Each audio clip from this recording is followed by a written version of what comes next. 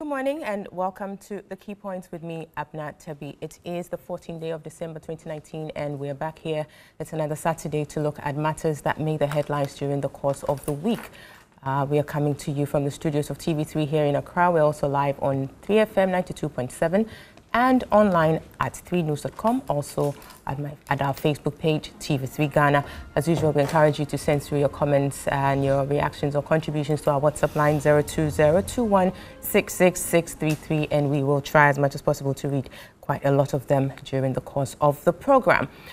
This morning, we are looking at uh, a number of things. We'll start off with a look at the President's Meet the Press. And just yesterday, the 13th of December 2019, the president interacted with the media to account for his stewardship um, after three years in office. Now, interestingly, this account of stewardship um, by the president came at a time when think tank Imani had published a report scoring the government 48.78% on the delivery of its 2016 campaign promises. Now, this score of 47.78% constitutes a lower end of satisfactory progress per the Imani assessment um, scoring scale. Sorry. Now, the president, while answering a question posed to him by one of the participants at the engagement with the media yesterday, expressed his disagreement with Imani's score of 48.78%.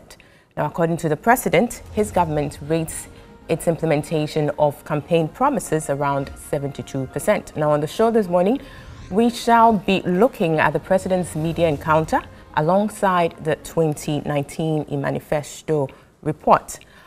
Also, on a related matter, in a related matter, we'll turn our attention to the 2019 Afrobarometer. And this week, the CDD issued another news release, I believe the fourth this year, regarding uh, findings in the 2019 Afrobarometer survey. Now, the CDD appears to have serialized um, the release of the findings of 20, the 2019 Afrobarometer survey. You will recall that uh, a couple of weeks back we looked at um, infrastructure concerns of the people, then we looked at the economy, now we are looking at elections. So this week's news release revealed, among other things, that 12% of Ghanaians are undecided or do not know which of the two dominant political parties they would vote for in the presidential race, that is the NPP and the NDC. Now, 11% also say they will not vote, and another um, startling findings was that the youth were twice as likely as older citizens to say that they would not vote. Now, the findings also reveal that the proportion of respondents who said they would vote for the ruling NPP has declined by 15% from 49% in the 2017 survey to 34% this year, while the share of respondents who said they would vote for the NDC remained unchanged at 22%. So what are we to make of these figures or statistics coming out from the 2019 Afrobarometer survey? And then lastly, we'll turn our attention still on elections to an impasse between the Electoral Commission and opposition parties over um, the decision to have a new biometric voters registration system. So we'll try to understand exactly what caused um, the walkout by the NDC and some other opposition parties this week. These are the topics we have for you this morning. We'll take a quick break. When we come back, we will delve straight into the issues. This is the key point. Stick and stay with us. We'll be right back.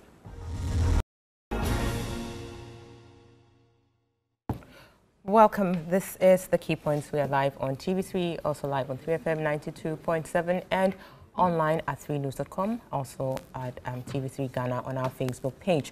So we'll be delving straight into issues here. Let me quickly introduce the panel for today's conversation.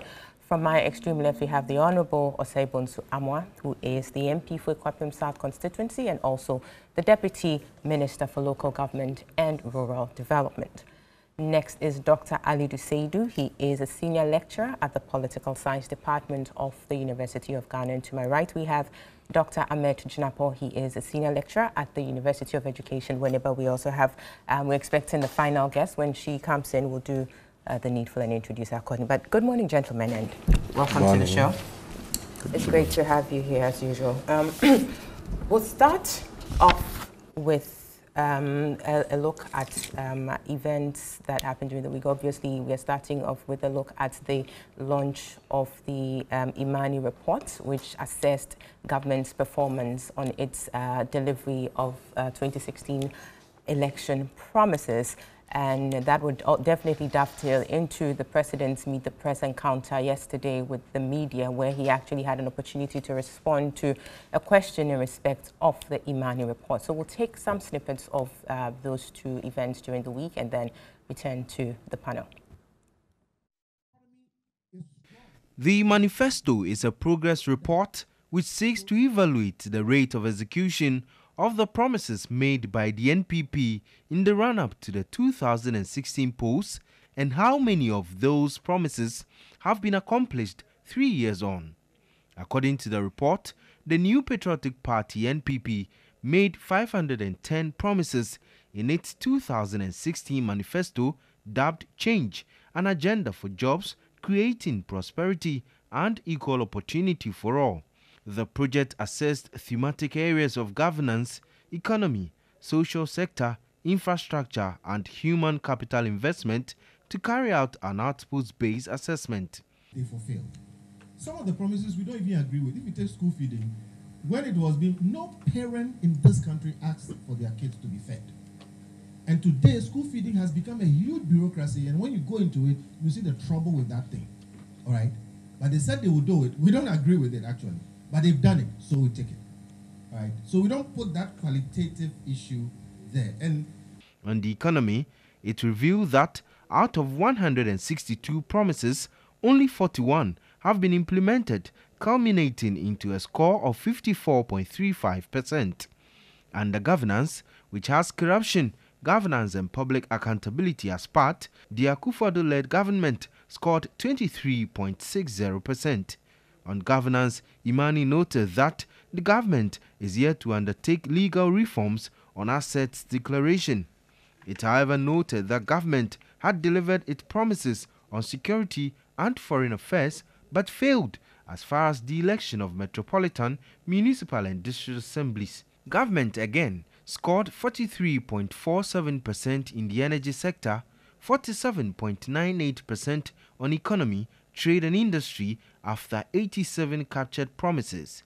It further scored 50% on economic policy objectives, 69% on macroeconomic stability, and 61% on economic management and taxation. By scoring 48.78%, government is deemed to have performed satisfactorily. This also translates to the fact that looking at all the promises in the manifesto we examined, they have been able to implement 48.78%. Some not full implementation, but uh, uh, some, around 25% of this, they've done full implementation. So we find them in very good, um, fair, satisfactory progress. There were calls for a further analysis into the impact the fulfillment of these promises has had on Ghanaians. The other measure we could eh, adopt is to do surveys, which is the best impact assessment anyway of any, of any significant government policy. The NDC Member of Parliament for Ningo-Prampram, Sam George, argued that the project being quantitative will not reflect the living conditions of Ghanaians. The NPP government so high for the aviation sector, for example. One is going to ask, um, what have they done in the aviation sector to warrant such a high score? So quantitatively may look good, but qualitatively, many themselves admit that they have not looked at the qualitative aspect of it. The policy think tank intends to present a final scorecard in 2020 ahead of the general elections. With the 48% assessment, I think it's a much higher assessment in terms of campaign promises that have been delivered and are being delivered the figure that we're working with is a figure of 72%, not 48%, in terms of the promises that have been delivered and those that are in the course of being delivered. So we have a fundamental disagreement on the, the figures. We believe that there's enough information that can be assembled to show that our figure, our assessment is the, is the accurate one. The size of government, I heed the calls. It's come from some quarters. I'm not quite sure that it is necessarily the call of everybody. But I believe that the work that this government has, has done, the output, would have been difficult with a smaller number. The machinery of government in our country is such that if the political direction at the top is not strong, the delivery becomes a, a, a, an issue. And I, be, I still stand by the fact that the numbers were necessary for the work that we have done. And that when you look at the output, would have been difficult to have obtained that output without the numbers. The ambulances. The Minister for Special Development Initiatives, who's been responsible for bringing them, told me about a month, six weeks ago, that some of the ambulances were in, should she distribute it? And I said no, she shouldn't. She should wait till they all come in. So one day we can distribute them all at the same time to all 275 constituencies. I saw myself getting into a tremendous amount of issues if you started distributing some and others didn't get it. Fortunately for us, all of them will be in by the end of this month. 160 odd are already in and the balance on the high seas will be here by the end of the month. The 300 will be there. On the 6th of January, I will commission them, and then the distribution will take place simultaneously across the country. And nobody's going to accuse me of favoritism, regionalism, this and that and that. So that is, is, is, is, is the short answer to your question. Instructions have gone from me to everybody in my government that they have to cooperate with the special prosecutor. Um, he made these statements some time ago. I haven't had them repeated recently. And I'm assuming from that, therefore, that the directive that I gave of cooperation uh, is working. But I've made it clear to the special prosecutor that if ever there are some kinds of obstacles or barriers that I can help jump and overcome. Of course, I'm willing, I'm ready and willing to do so. I've not had an opportunity to discuss anything with him in the last few months. I know he's doing his work. He's supposed to be an independent person. He is an independent uh, official. And I, am reluctant to be attempting to micromanage or get involved or be seen to be meddling in, in his remit. He's a very experienced public official. He's getting on with his work. And all of us will be judges of the quality of that work. So that is what I would say. And it means that, uh, do I say I'm happy or unhappy with his work? He's getting on with his work. That's all I can say. Um, the Affirmative Action Bill has been a very controversial bill. It's gone through several ups and downs and we're hoping that we're now at the last stage of, of, of, of, of its movement. Um, hopefully. um, it's, it's due to come back to cabinet again. There's been a recent round of stakeholder consultations on it, and is due to come to cabinet again for final review. Great. So that was a President Nana Dankwa Akufo-Addo there yesterday addressing um, the press at the Jubilee House. Um, a number of issues came up. You heard him talking about um, the Office of the Special Prosecutor. He also touched on um, other things regarding the flagship project of his government and how far they've gone with it. Also reacting to the Imani report, which scored his government 48.78% in terms of the delivery of their campaign promises of 2016. Um, let me quickly introduce um, our final panelist who joined us in the person of um, Madam Joyce Bawah Mogtari. She is the spokesperson of former President John Dramani Mahama. Good morning, welcome. Good morning. Good to have you. Good morning, and good morning to all of you. Great. Pleasure to be here.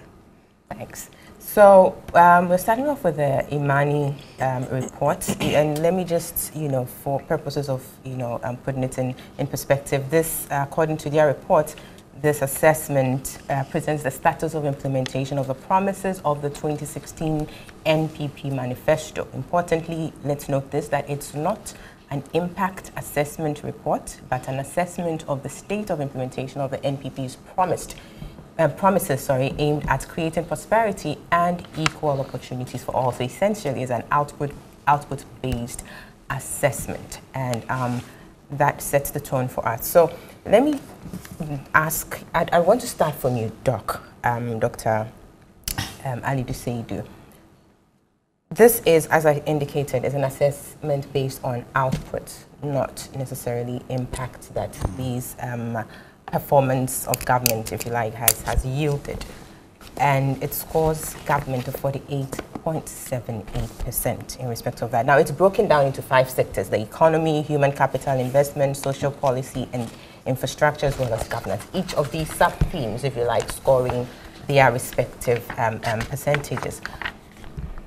What do you make of this whole process? Uh, thank you very much. I, I think uh, it's a good thing to do, one, because it actually brings accountability to our governance process. Over the years, we've seen politicians making promises that they can't even remember when they, when they get to government. So an activity of this kind actually enlightens our democratic process. It brings the context of ideas rather than just the context of might.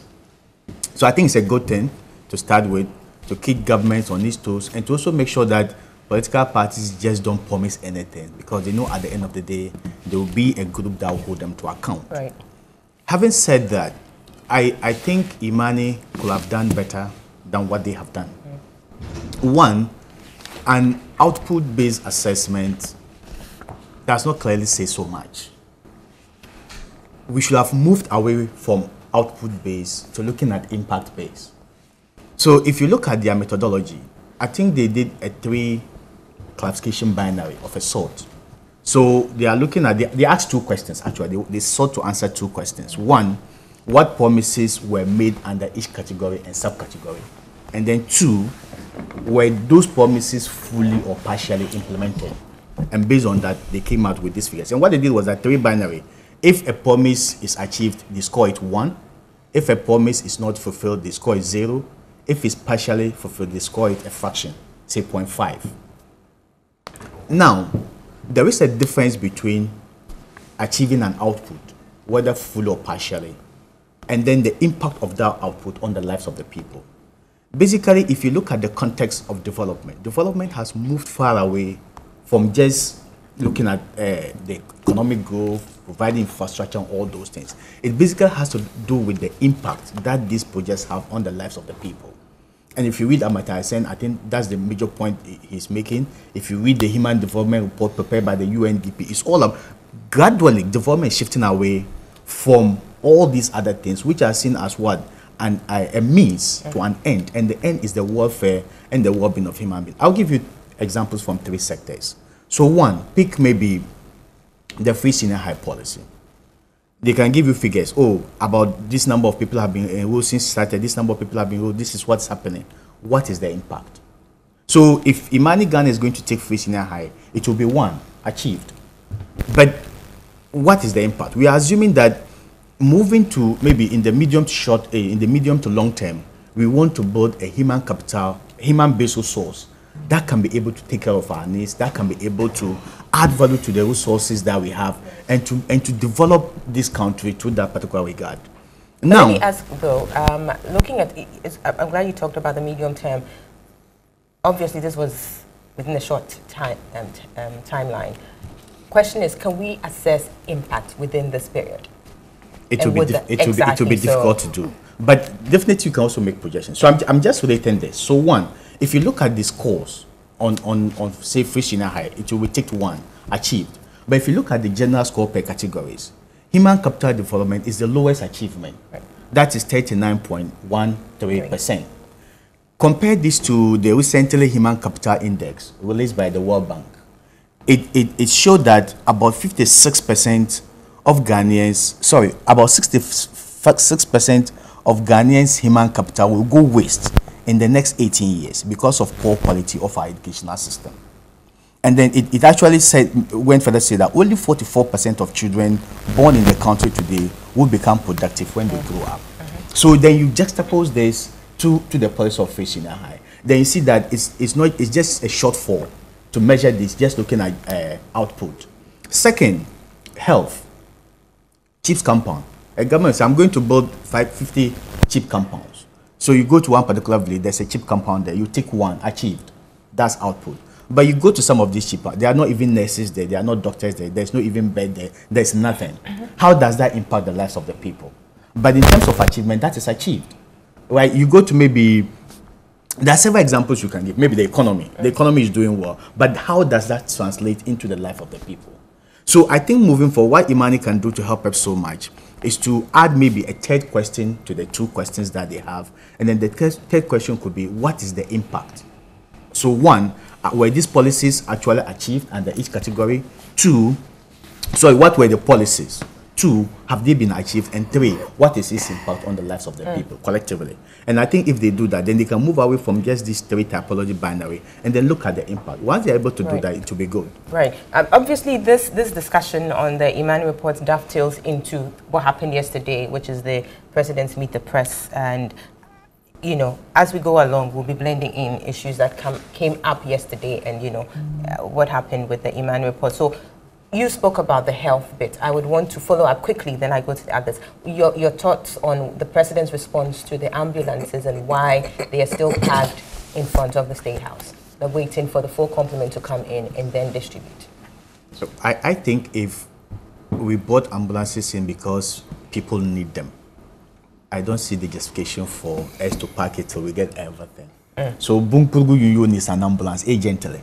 Then we have two ambulance. Give one to Bunkpurugu-Yunyoo and wait. When the rest can we give it to other communities.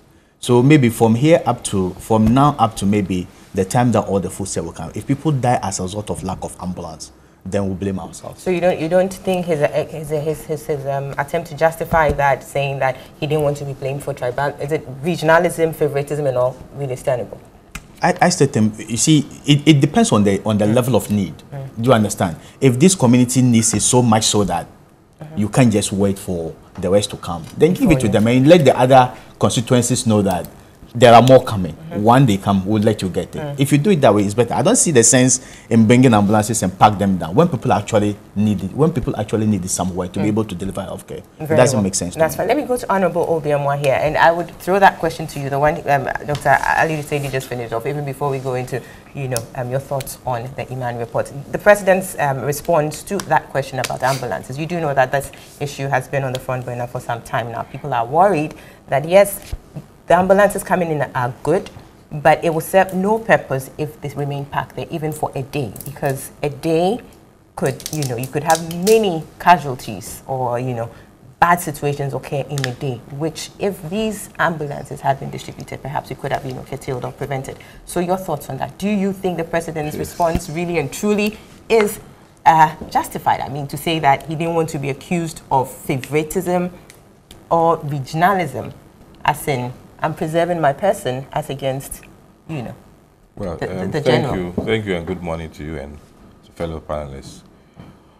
Well, if you zero in on the ambulances, what the president said was that he wanted to be seen to be distributing the ambulances to every constituency, and that hopefully by first week in January, he should be able to do that. I think that's a fair answer, even though I know for TV3, there's been a crusade about I think it's a send- send the of the ambulances. entire nation, you know. send the ambulances. Yes. Send them to where they belong. um, I remember even the minority went to take pictures of the ambulances and did a whole press conference on them. Of course, we heard people saying, if you've brought them, distribute them. Exactly. But the, Uh, the ministry also came out, special development initiatives especially, came out and gave us reasons why they were still parked there. Mm. For instance, I know they, they've contacted the, the districts to prepare for the ambulances, where they will stay and other logistics. But thankfully, once the president has assured us that first week in January, these ambulances should leave the state house, well and good. I don't think we could, should spend so much time on it. We should rather look at the other things he said and then. Um, and this is this is of concern to many, yes, really and truly, so which, which is why. why do you keep on saying after, TV3? after, I mean, after since January. Anyways, well, we'll, we'll, we'll, we'll move on. Indeed, there are other issues to look at. I would want you to look at. You see, we're trying to. I, I mean, I do appreciate the Imani report Yes. totally. And but I, looking at the report, I, I had some concerns, and so I just want us to look at that even before we go into whether or not the percentages assigned and all are, you know, really what, what they are. I, I'm seeing here in the report that it says this assessment does not take into account activities, initiatives, programs, and policies which the government did not promise but has undertaken. Which leads, I mean, which raises the issue Doc was touching on about impact and the relevance of policies in the lives of the people. So that if you're scoring a government and you're saying, well, our focus is on the manifesto promises, and so regardless of what you've done, we don't care because it wasn't part of your manifesto. Yes. How do you, what do you make of that Well, this, this is issue not in, the- in this report? Thank you. This is the first time Imani is um, conducting this exercise. They calls it a manifesto. And I think we've done about two or three over the years. And if, as you said, you said they are not really interested in impact. And two, they're only focusing on what is in the manifesto, what has not been done outside the manifesto. And then for the fact that they are more interested in alerting political parties um, to be cautious when they are doing their manifestos or to be realistic. And then they say that working close to reality is the key. That's what they say. So, more or less, they, they have drawn the parameters and then they have told the whole world that this is limited in scope. And for that reason, if you are assessing them, you should also take into consideration the fact that you, you can't really use this to assess the government to a certain point. And, and also, we should also realize that even in the manifesto, the promises that you put in a manifesto, they will not be of the same impact and then or the same um, magnitude. For some, you even need more expenditure. For some, will have to take a certain length of time to be able to execute. The things that you do in a few months, you can execute them. So if you take that and give it one, and then for others too, where you have to get some time to execute, you also give it the same one mark of strength, and then probably not being too, I don't know the word I want to use, but I believe that they think that they have done what they need to do, and in doing that, that's the score they give. The president is saying that, look, I also have my team, we've also done our assessment, and based on the assessment, this is what we've come to. I'm aware that indeed there's a dashboard the team has put together, what was put in the manifesto, not even what has been achieved outside the manifesto, what was put in the manifesto, and then ranked those which have been delivered, those which we are delivering, and those which we are which is pending. So you- at least Residence is not talking out of a vacuum. He also has his um, data to be able to address what Imani did. And of course, uh, uh, um, um, um, research or work done by an independent body is also worth, you know. Of course, it- it's not being discarded, looking- except that the, the, the two appear to be poles apart in the sense that 48 and 72. We need to interrogate how did we come by these figures. Money has told us that indeed he only listed what was put in the manifesto, not the new initiative.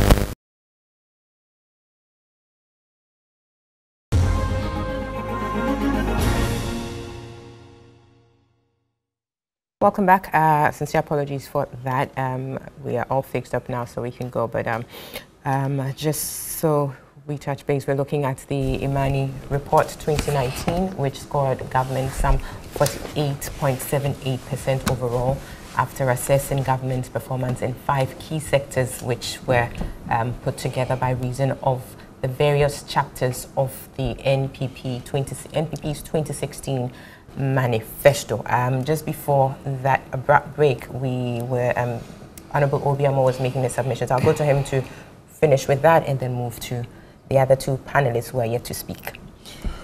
Well, thank you. I was making a point that Imani has been doing this and they have their own criteria. For instance, they tell us that he, he dwelt on the economy, governance, infrastructure, human capital investment, and social services. And based on what they picked from our manifesto, that is how they have ranked us. But we are saying that we also have our own dashboard um, from what we've done so far and categorizing them into delivered, delivering, and then pending. We think we have scored far higher than what the money- 72% according to the president. according to the president. The, president is spot on because um, we are in December, as at August. That's what we have put together. And then, so from August, we even need to add more to it. So Wow. that is really the situation. And as I said, they, they appear to rank all the promises the same, which is a bit problematic because if you say that you you amend an act um, or you carry out a, a process which maybe takes uh, weeks or days to do it, and then you compare that with a major policy that you have to implement, and also give them the same um, ranking, then uh, uh, So you think that the- the- problem. um, they should be targeted or the rank should be specific to the kind of policy actions that are being taken? You don't necessarily give them an equal... Because, because if you implement, um, let's say, free senior high education, I, I don't think it, we can rank it the same as maybe expanding school feeding. But wouldn't, wouldn't that be the reason why they're saying this is a, That's, an that's why they, output-based? yes, so that's why they also um, Yeah. made sure that they, they told us exactly, Exactly. what they were doing. Sure. But in analyzing it, we can also look at some of these mm. aspects. Very well. And, there's- even the expenditure you have to incur in even mm-hmm. implementing some of them. And at the end of the day, when we go to the people, we are not going to tell them only about what is in the manifesto, but what we have even achieved mm. outside the manifesto, mm. and to be able to convince them why um, they should vote for us again. And I think the president yesterday did very well. I mean, we, we must really commend him. He was on top of uh, what he was doing, and then he, he responded to almost everything. And I'm sure at the end of the uh, the media, you were really satisfied, if, even if you don't want to say so. Well, it's for the people to say, really and truly. So, but let me come to uh, Madam The- Joyce Bawah here. Just before I end, the only challenge is that I've seen some networks asking people whether it is true that the NPP has achieved a 72%. And then you have this, uh, like, more or less opinion So it's a poll. poll, yeah. But the difficulty is that there are some who haven't even read the manifesto. Mm. And they haven't taken the trouble to even look at what has been achieved or Mm-hmm. not. But if it's just opinion pool, say your mind, uh, is it true or not? You may not achieve what you really want to achieve. Oh, well. W- w- w- I mean, people are obviously entitled to do those kinds of polls. But it has to be more objective and professional. Very well. That's fine. It's not just like saying is is um, uh, Abra pretty, Mm. and that one is even subjective.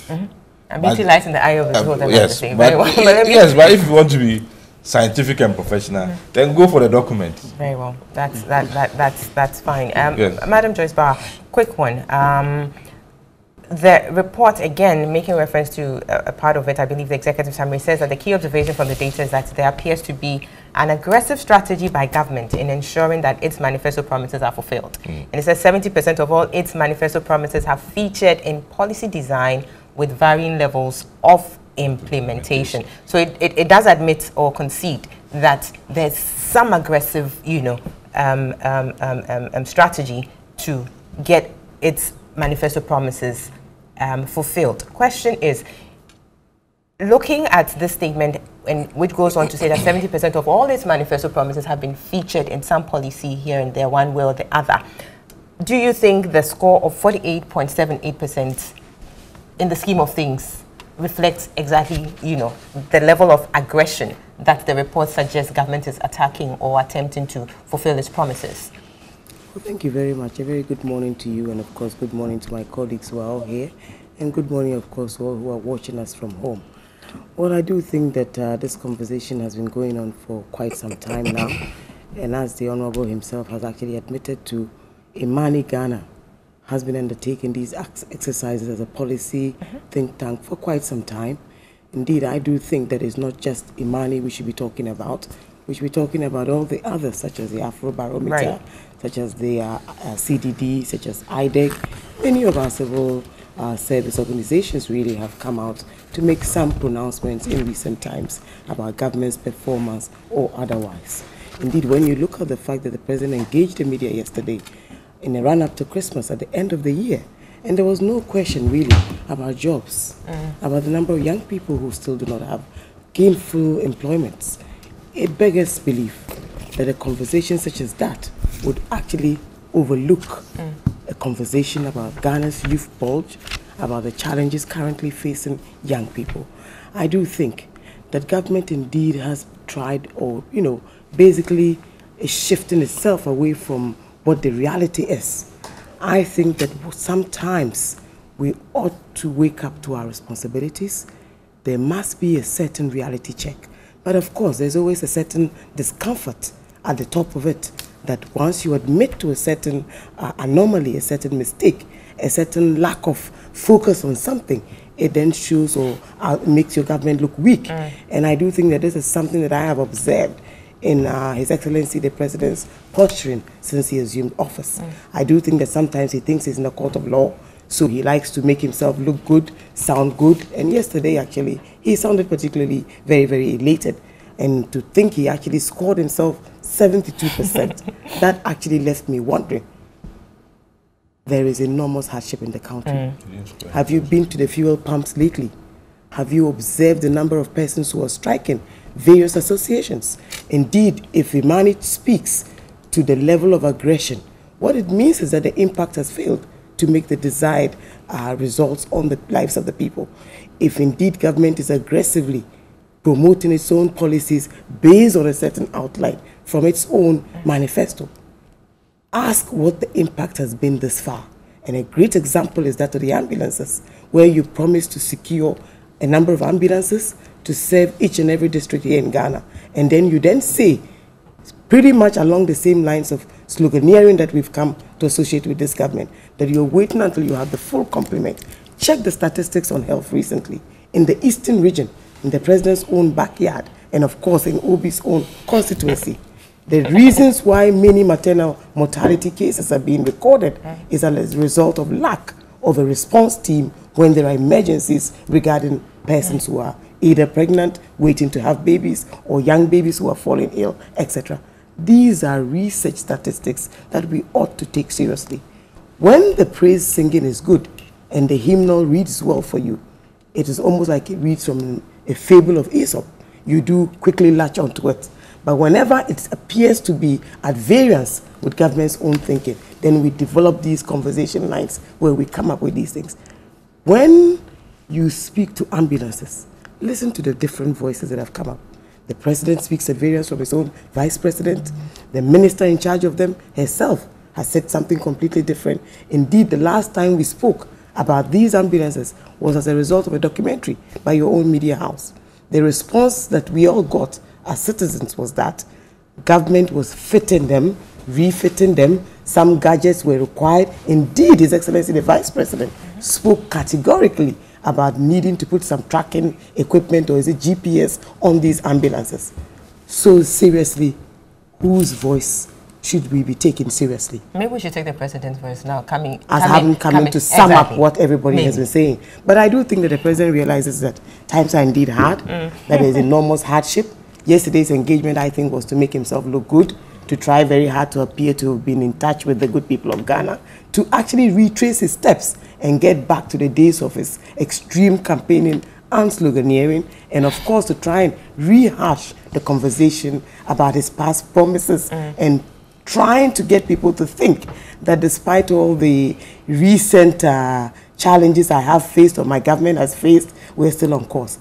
An attempt to reassure the good people of Ghana on whose behalf he seems to be running this country. Mm. But the reality is that we're still waiting for the full complement of ambulances. I would like you guys to check just how many ambulances are in that car park.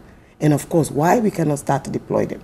So we're waiting for the usual pump and pageantry that the government is doing Ghanaians a favor that you can use taxpayers' money to procure ambulances and people are dying and yet you want to dictate when it suits you for the cameras and the media and all the usual pump and pageantry. I didn't expect that we'll be hearing something like this mm. in a country whose health sector is probably at the lowest on the African statistics or mm. indexes in terms of health provision for people. Note that a healthy nation really is also a healthy people. Sure, we definitely. have challenges with the national health insurance. Indeed, these were some of the campaign messages that the current government carried in 2016. There's been no improvement. Indeed, we have been forewarned that in the coming year, cash and carry will be the new mantra.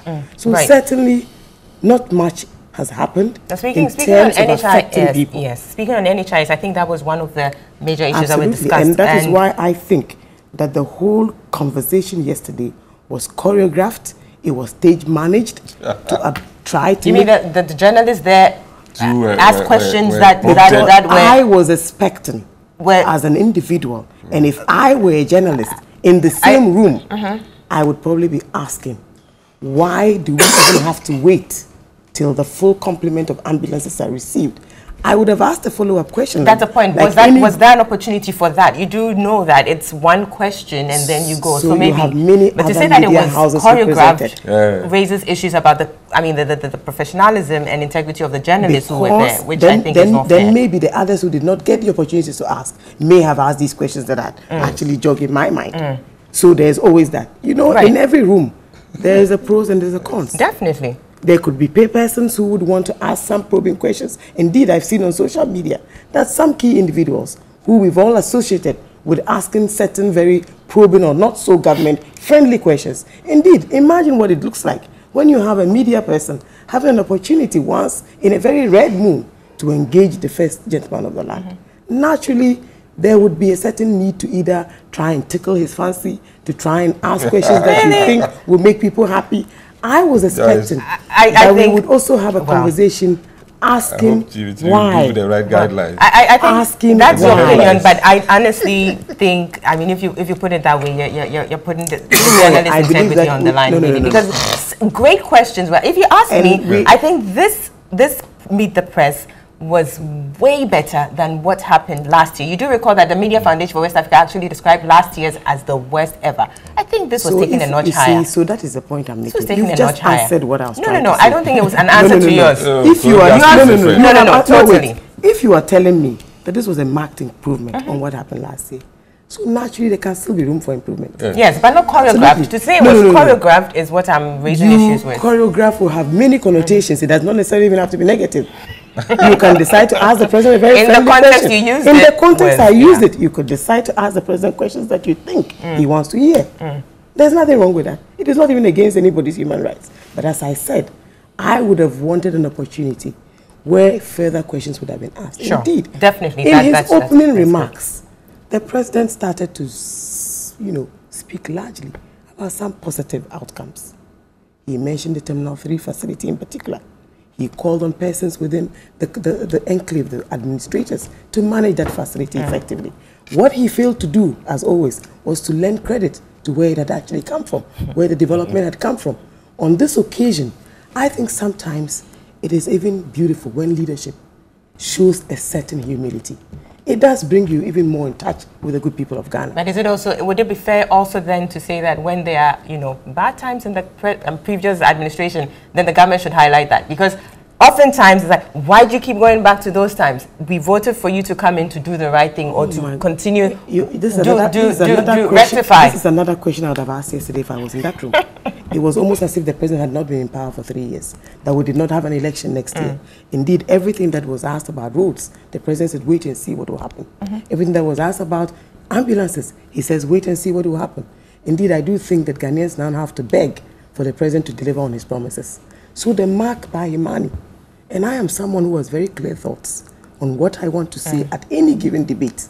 It might not suit someone's interest, but I think that in everything that I say, I have thought very carefully Very about well. it.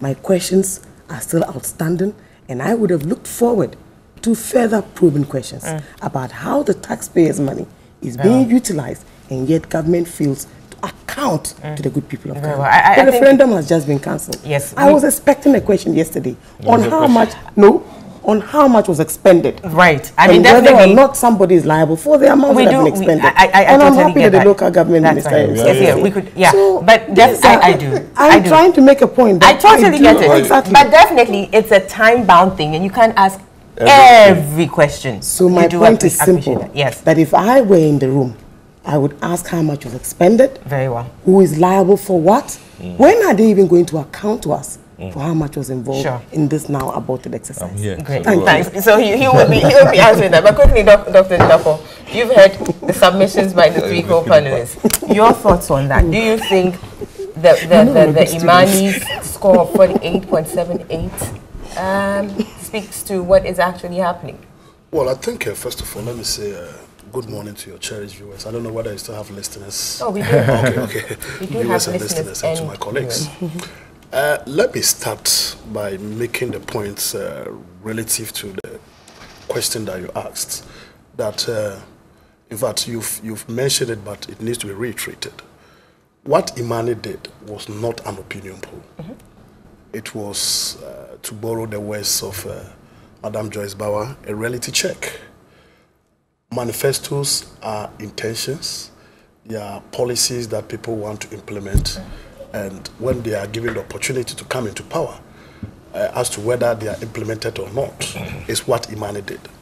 And I make I make I, I, I make reference to this because uh, there are some people who still have a misconception of what this whole thing is about. And I'll, I'll give a particular example. I'm told that the Deputy General Secretary for NPP, Mr. Obiri Boahen, uh, is very happy about they getting 48.78%, hoping that by next year they would have had 51 percent.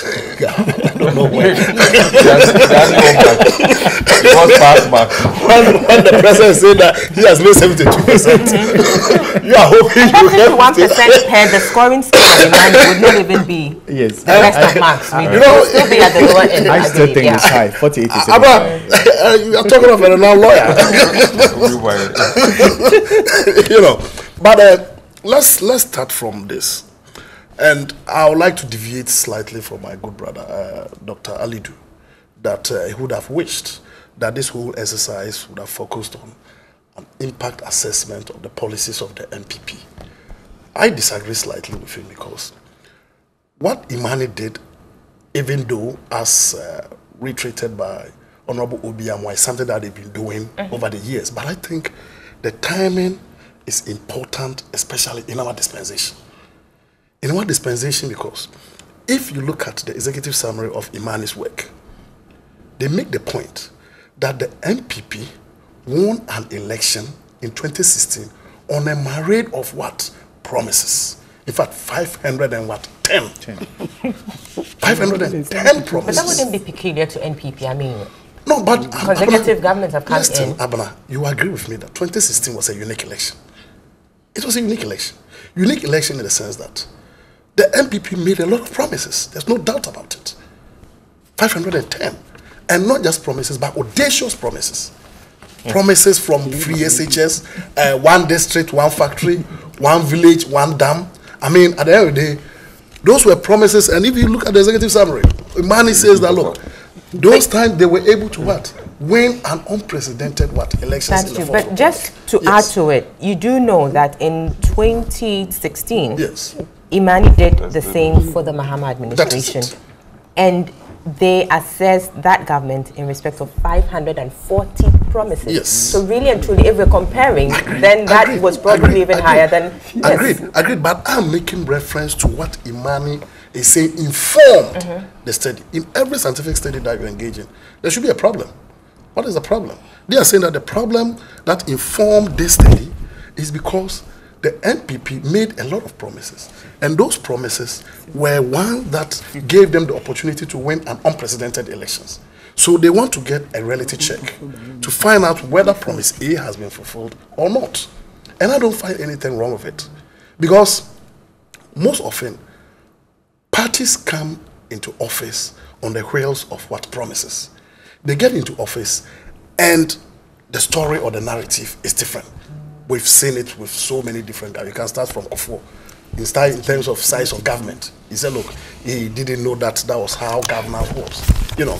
So if today Imani is saying that, look, let's do a reality check, just a checklist. You promise one, one village, one dam. Have you executed it or not?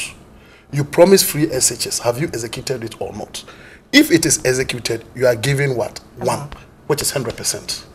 If it is not executed, you are given zero, which is what? 0%. If it is partially executed, you are given a certain figure. That is where I have a little bit of what? A problem. Because take something like one village, one dam. How do you rate one village, one, uh, one village, one dam? You can't tell me that they haven't done anything when it comes to one village, one dam. They've done something. But how do you say that whether they wanted to do 200 dams and they've done just one, they should be given a rating of what? Partial fulfillment. Because if you look at the methodology that they used, after all this, they come to codify it. Mm-hmm. It's like a Likert scale. One, two, three, four, five. So based on that, you come to what? Codify it, then you strike an average. Right. So even the 48.7% becomes a little bit what? Confusing. You get a point. It becomes a little bit confusing because we are looking at average. We are looking at three, three uh, uh, uh, uh what do they call it? Scales. One, partial, and what? And zero. So if you have a lot of partials and you aggregate it and you find what? An average, you get a certain figure which might not be reflective of what is going on. But that's notwithstanding. I think they've done quite an impressive job. Uh-huh. My only worry is that uh, when you situate that within the press conference or the media encounter that uh, the president engaged in, it tells you that we are still going to have a replay of 2016. It tells you that 2016 debate is not over. And it tells you that uh, the 2020 elections is going to be influenced mostly by what happened in 2016 because there seems to be a subtle uh, uh, uh positioning of the NDC that the NPP came into power on the wheels of quote and unquote promises that they knew that they couldn't achieve. That they came into power. But, but sounded good in the yes, they knew that look they couldn't achieve them, and they gave them out because they were, I mean, mouth watering, and the people bought into it. But if you look at the posture of the president yesterday, the president uh, still stands by the father. look, I did not come to deceive you. I strongly believed in what I said, and I'm achieving them at a rate of 72%. At a rate of 72%. We've not been previewed with how the 72% was arrived at, but I'm not even too much interested in whether 72 or 48. But I think that at the end of the day, uh, some body or some organizations are taking or holding government accountable mm-hmm. to its what? To its promises. And i believe that uh, in 2020 the narrative is going to be hinged mostly on 2016 uh, uh, uh, debate. It, it, looks like that's how it is shaping out mm. we are yet to hear or get a proper response from the ndc uh, when it comes to what uh, imani has put out. uh, what uh, the president uh, is saying he's done. And I think the NDC would also have to do a scientific study of this sort, mm. Uh, either to, to, to validate what Imani has done, or, if possible, uh, to come out with, uh, based on their own assessment, what, what government has done. But it's interesting to know that if we say 27% of 510 promises fully implemented, and now we are looking about some 120 uh, promises. What, what, you, yes. what do you make quickly before yeah. we, we, we, go into the yeah, Afrobarometer? Yeah. What do you make of what they said that, well, they were focusing on the manifesto promises, but not what government has done outside that? So that even though there's a possibility that government has done oh, yes. some work in some other areas, because it wasn't captured under their manifesto, well, we couldn't be bothered about that. Yes, I mean, there's nothing wrong with that. All they wanted to do, they had a specific objective. The objective was to take, and that's what they said, they did content analysis. They picked uh, budgets, they picked parliamentary Hansards, I mean, all kinds of things. So, Abna, you said you'll be coming to TV3 10 times a week. How many times have you been here? Four times. So you are rated what? 2.5 or whatever it is. If you didn't come at all, you are rated zero. If you came here 10 times, you are rated one. That is where I have a little bit of what? Mm, a problem, problem in terms said, of yeah. what? The rating. But I think they set out a specific objective to find out whether government has fulfilled its what? Its promises. And I can tell you this. There are some promises that the NPP put across in their manifesto that, in my estimation as an individual, I don't think that they are uh, promises that should be fulfilled. For example, take one district, one factory. Personally, I don't believe that Ghana needs a one district, one factory. That's my position. Mm. So if the NDC and the NPP has not fulfilled one district, one factory. Based on the Imani methodology of what assessment, they wouldn't get what mm. a one. Mm. But they're not getting a one if they're able to put 10 factories, huge factories, that can employ so many people. On paper, they haven't achieved their what? Their campaign promise. But in principle, they've done so much in terms of what right. getting people to do jobs. Can I? So, yeah, well. yeah. But, but, but yes, one, one other interesting thing in there had to do with the fact that they themselves acknowledged that there was a limitation with their methodology, which had to do with no, I agree. the promises themselves, yeah. that they were not smart, they were not specific, yes. they were not measurable, sure, they were not attributable, realistic, and time bound. Yes. Yes. So that in itself raises issues about how they are even able to not, uh, put, before put before some, Dr. Alidu comes on that, so yes. the point is this: I'm not uh, I'm not being too hard on Imani. I think that they've done an excellent job. Right. It's giving us a window of opportunity mm. for us to assess the government, mm. not in terms of performance. Get it straight, not in terms of performance, and that's well. In terms of impact, you mean? Not in terms of impact, in yeah. terms of what they've done. Yes. In terms of what they've so done, and that is where I even have a problem with Imani. Mm. When you come to page 14 of their mm-hmm. this thing, they have performance of the NPP. And in governance, for instance, they put 46.21%. What does that mean? If you say governance 46.21% in terms of performance, that is not what you are looking for. You are looking at in terms of what realization. How, to what extent have you been able to what, realize what you wanted to do?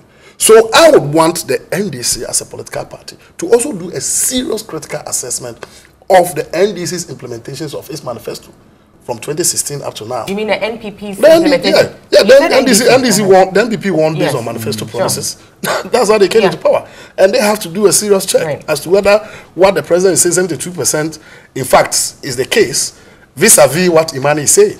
Very well. Well, I, would the NDC need a scientific research to come and say no? Definitely don't say no. Myself and Dr. they can, they can, they can contact us.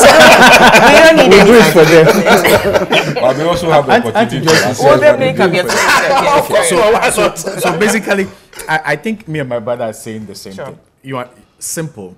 It's a good exercise. I agree. But you see, you have to move beyond just output based.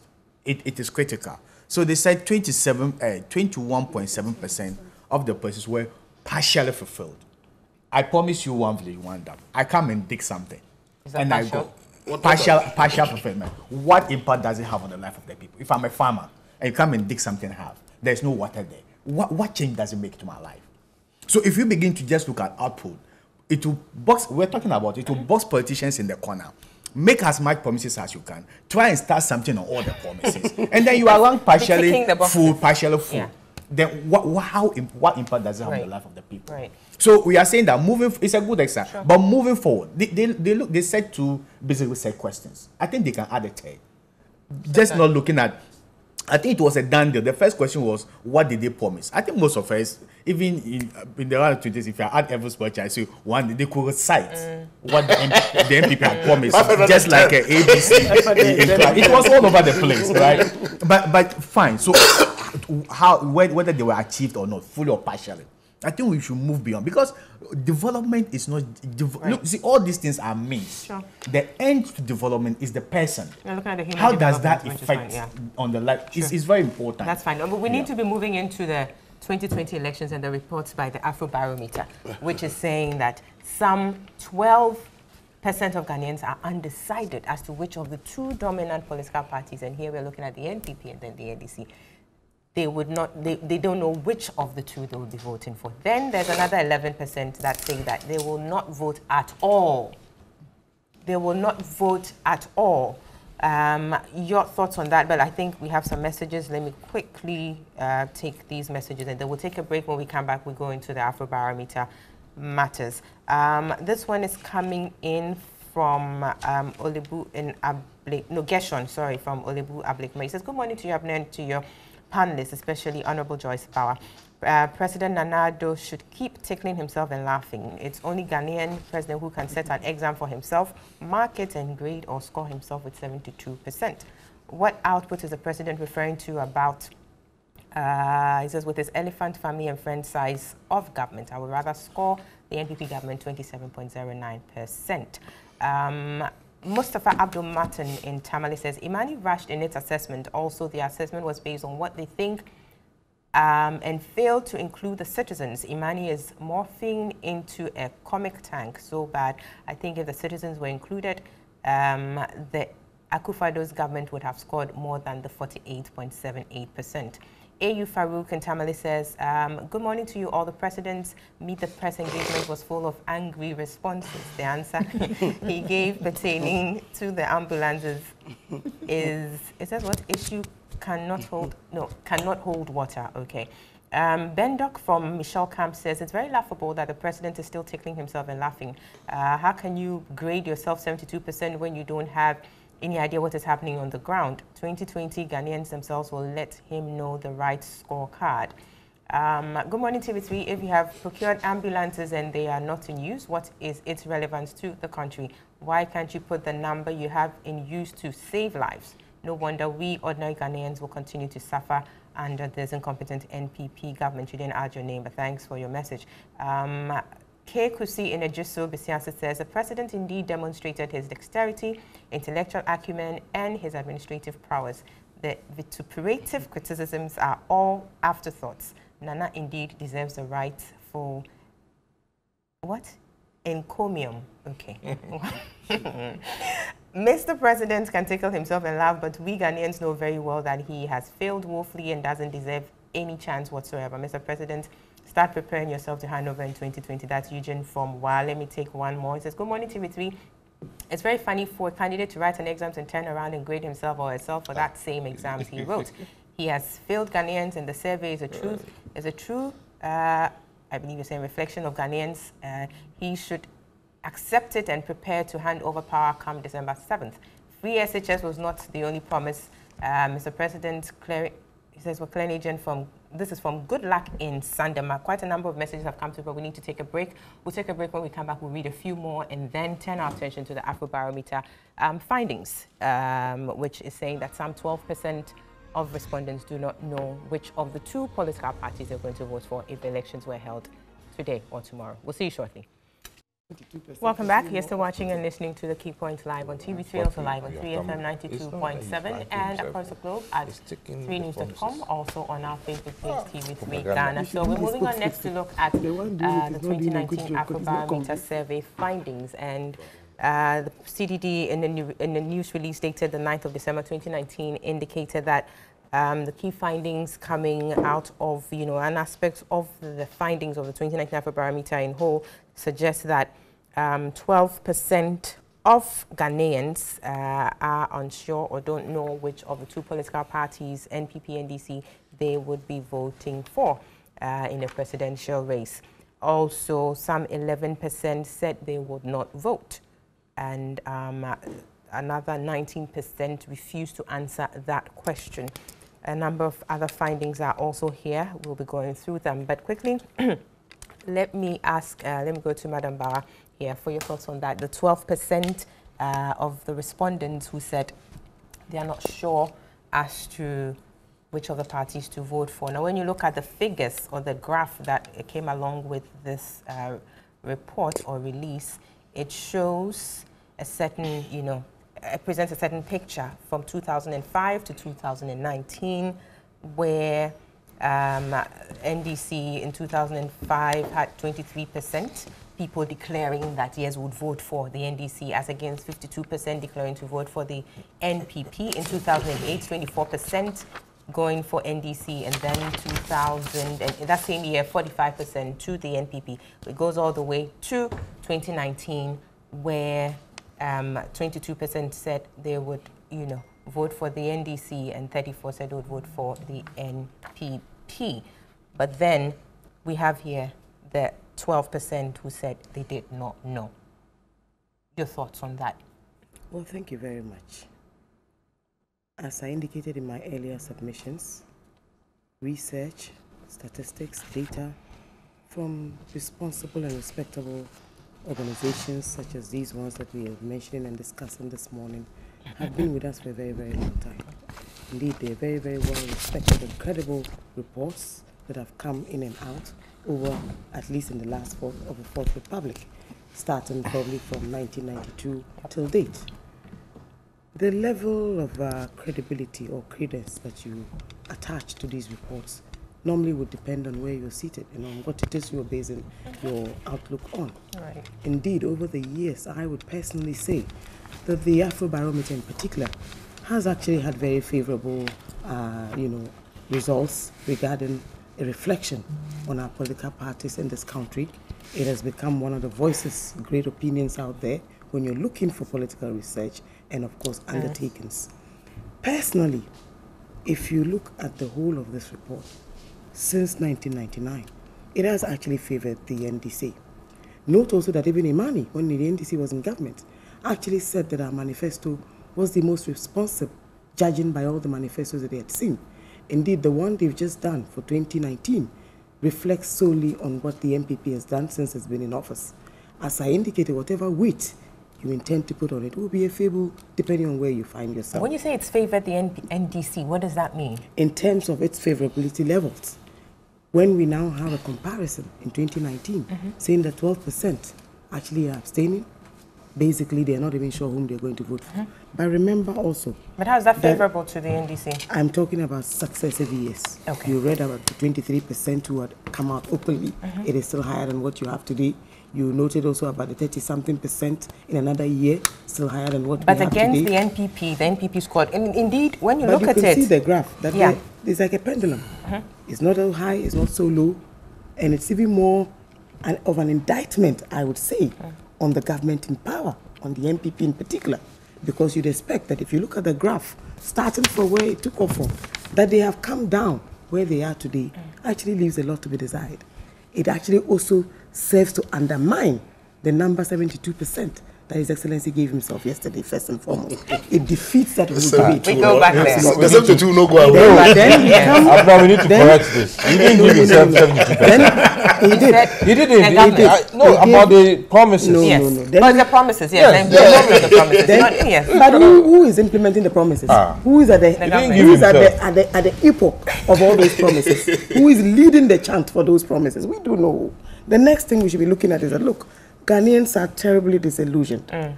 Let's not underestimate the value of hardship on the good people of Ghana. The level of unhappiness is reflected in this report. Note also that 66% have admitted that the bar of inequality is widening. We are going back to the days of the super rich against the super poor. And the so called interventions, as you yourself would notice, when you go and say you are building a dam, the next morning you tell us it's actually a dugout. The farmers in the catchment area themselves admit to the fact that in terms of impact, impact is zero. It is substandard performance. So look at it from that perspective. Are you here to govern as the NPP, led by the president, as against governing for the good people of Ghana? What I have come to realize about the New Patriotic Party in particular is that it is almost as if it is a song singing to do Ghanaians a favor. That just because we have this feeling that we have probably we beat the NDC in an election that they were expected to win, we probably overly burden the benefit of infrastructure. We touted our achievements in that regard. And most likely, people did not even see the outcomes in terms of the jobs mm. that these projects were supposed to deliver. They that deliver. now that we sing the success mm. story of Terminal 3, mm-hmm. using that as a case in point, since His Excellency himself started his submissions on that all too now popular positive effect, the people who are working there, are they your sisters and my sisters and brothers? Will we necessarily say they are NDC or NPP? They are Ghanaians. The funds that were used to invest in that project, they are taxpayers' money. I come back to the point that government is a continuum. That in some regards, you would continue from where your predecessor left off. The hospital facilities that are currently working. I go to the Ridge Hospital. I see persons there, both NPP and NDC. Are they not Ghanaians? I expect us to come to the center. Have a government that acts more responsive to the needs of the good people of Ghana. Mm. When you increase petroleum prices, and I was interested in page four of their manifesto in 2016, the list of all who are suffering are still suffering today. You heard the nurses last week. You heard NAT last week. You heard all of these categories of persons. The fuel prices that go up at the pump each morning, the electricity promises that were made. This is a book of unfulfilled promises. As we said, they touch on a little of it and think it will impact on everybody's life. But in actual fact, In terms of assessment, it is nil. 66% of Ghanaians clearly are totally disillusioned. 59% say that we are heading in the wrong direction. Go to Twitter and see, even when people put up these very short, little, little, uh, you know, polls, you see the outcomes. Mm. There is no impact as far as people's lives are concerned. In terms of poverty alleviation, in terms of a better life for the good people of Ghana, people still want to see results. Note also that 41% of Ghanaians say that they want to leave the country. So take that away from the number of 66 that admits to inequality that is widening. Take that away from the 59% that admit that we are heading in the wrong direction. My sister, there is no doubt that corruption remains a canker, that corruption fuels the poverty, that corruption does not aid the poor, but rather takes away from the poor. What is the effort that this government has put in, having come into government based on promises to do better? At least everybody in Ghana is adding them that in terms of the fight against corruption, very little or nothing is being done. Did we come or did we go? Good. If the song is for the president and the NPP mm -hmm. to continue to sing from the same pages of 2016, Ghanaians have moved on from there. Very well. I think on this note, it is clearly, and you can see along the divide, is a huge indictment on the abysmal performance mm. of the NPP. I tend to, I, I, I tend to and all these promises. For, in, for, in fact, yesterday I was really surprised that there was no question even on the current attacks on the Auditor General. Mm. And, and of course, even yesterday there was a comment even worsening the plight of the Auditor General. Very well. At least we know Let he's working to fight corruption. Thanks. The Office of the Special Prosecutor, and of course you have to give a little bit of credit. The President tried to stay away from little, that. A little bit of credit. Yes, because he knows. He knows that what he will suffer if he were to admit well. to those issues. Great. But look at the budget. the budget allocation even has not gone. Let me move to honorable. Point well made. Point well made, Madam yes. Honorable, well, your response to that, yeah. Well, the the Afrobarometer poll was conducted between September and mm -hmm. October. October, yeah. So it's quite recent, and their findings show that for the president, he's still very popular as compared to um, what he found during President Mahama's time. The people of Ghana trust the president more than any other time. In the sense that barometer is showing that if there are three institutions that you should trust, is the president, the army, and um, religious leaders. And for the president to score 58 percent it shows that the president is so very popular and they trust the president. Even when it came to parties, comparing NPP with minority parties, including the NDC, NPP scores 49% as against 37 of all the opposition parties put together, of course, led by the NDC. So, as far as I'm concerned, what is very critical is to get those who say that they are undecided or sitting on the fence to come on board. Mm. We are 34. We are ahead of those who are 22 and still jubilating that they are 22. At our 34, our aim is to make sure that we move higher than that. After all, in the last elections, the president had 53. At the beginning of his term, people had so much hope. Now, if the latest um, poll is showing that a lot are sitting back, it's, it's a matter of convincing this lot to come on board. And one of the areas we've identified is the fact that we've done so much, but probably we are not marketing it well. Probably we are not articulating it for the average person to know that sticking to the MP, NPP, immediate, medium, and long term is the best option. Because if you look at all the figures that have come out, NDC is not an option for the average person. And these are the figures. Still Going for wrong direction. You look at 2014, mm -hmm. those who said that the country was going in the wrong direction. 85 good percent. 2019 is 59 percent. So it's not just that people have just woken up and they say that hey, NPP is so bad, it's the evil party. So 59 says going wrong direction. If you look at 2014, 85 good percent. That's fine, but Honorable, let's Said look at let's now look, at, at, the economy. The econ yes, I mean we, we, all those things, yes, but we're looking at the release th that was issued this week, right? Which yes. is looking at what the respondents are saying in terms of whether they will vote yes, for that's party what that's what I'm That's right, but I just want us to focus on your, the a point here, which is a graph here, which is looking at the trend from 20, 2005 to 2019 Yeah. relative to, I mean, people's mm. position mm. as to which of the parties, which of the two they would vote for. Yes. And I'm saying that because you, you're talking about the 22% of the NDC as against the 34. Yes. So we're looking at how we have come, the trajectory. If you, if you look at it, I mean, it, start, it, it's, it jumps at me, the, Yeah. the, the graph here, that from 2005 to 2019, the NPP started with, um, if like, 2005. 2005, yes. President Kufuor's time. Yes. Yes. So there was a 52%, you know, declaration that yes, we are voting for the NPP. Yes.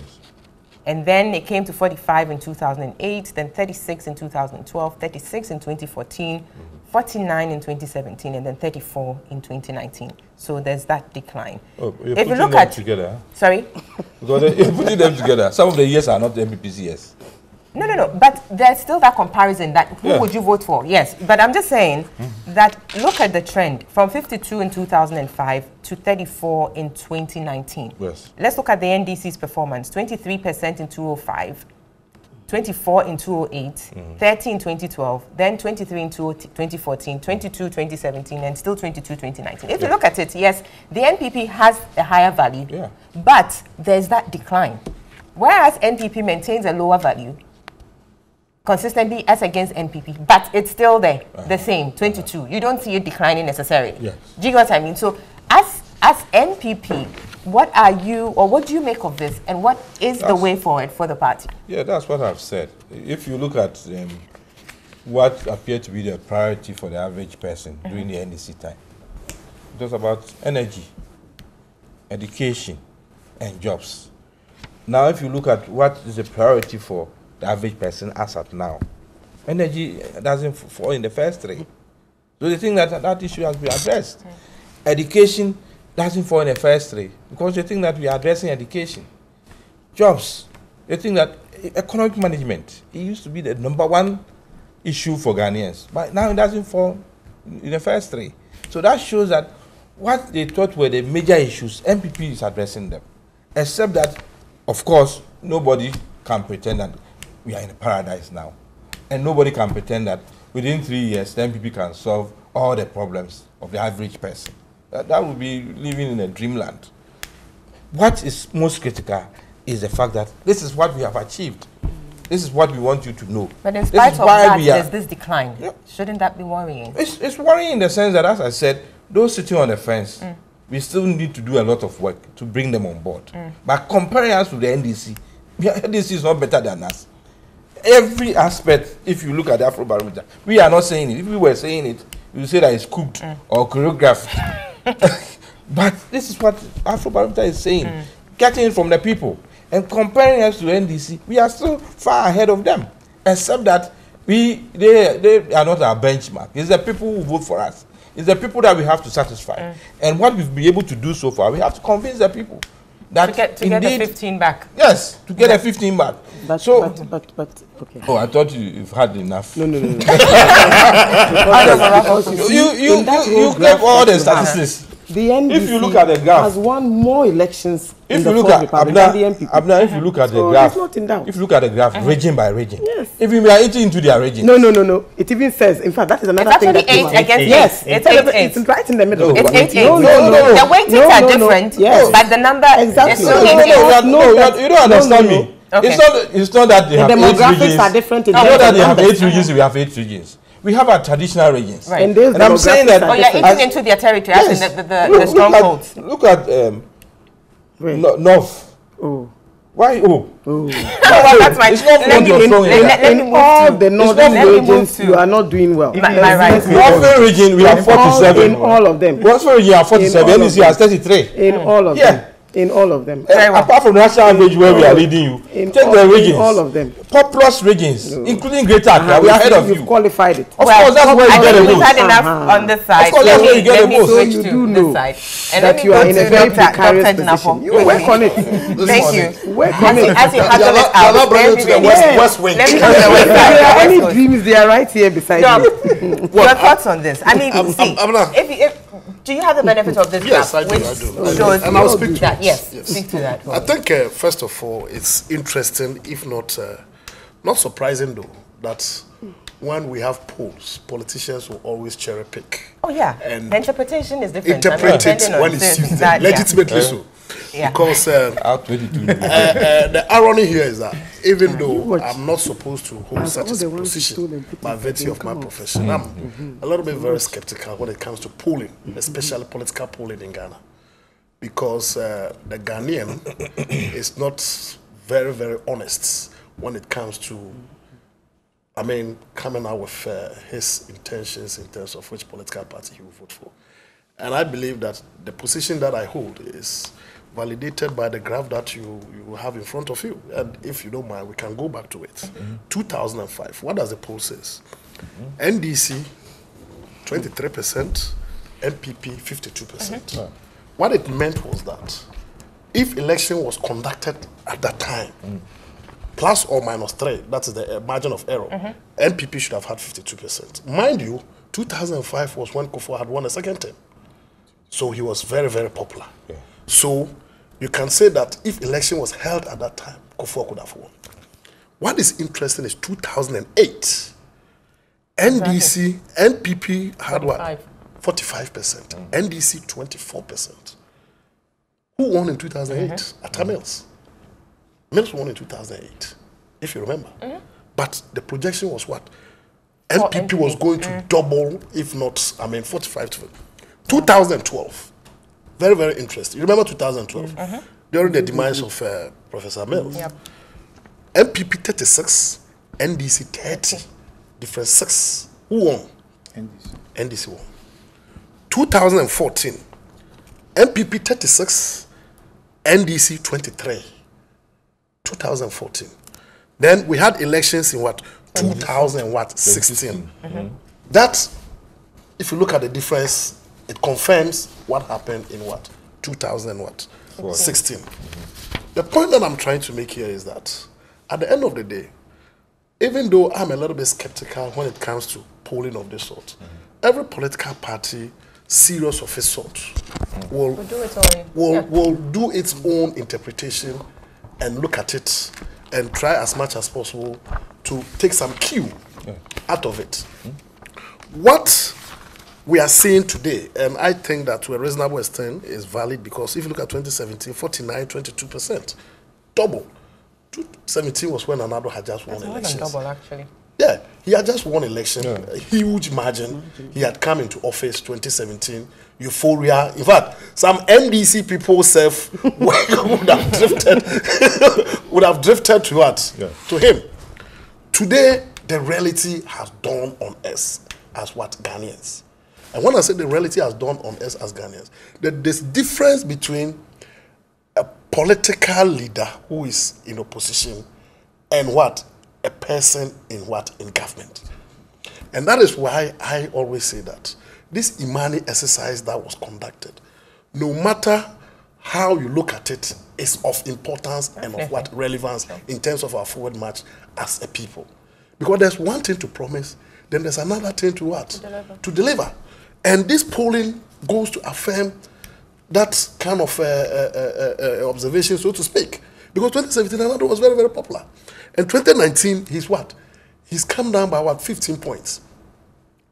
What is interesting for me is, even though he's come down, which I believe it should be, because the reality has dawned on us. I mean, one village, one dam, uh, one district, one factory, one this, one that, and all those things. What interests me is that the NDC is not moving.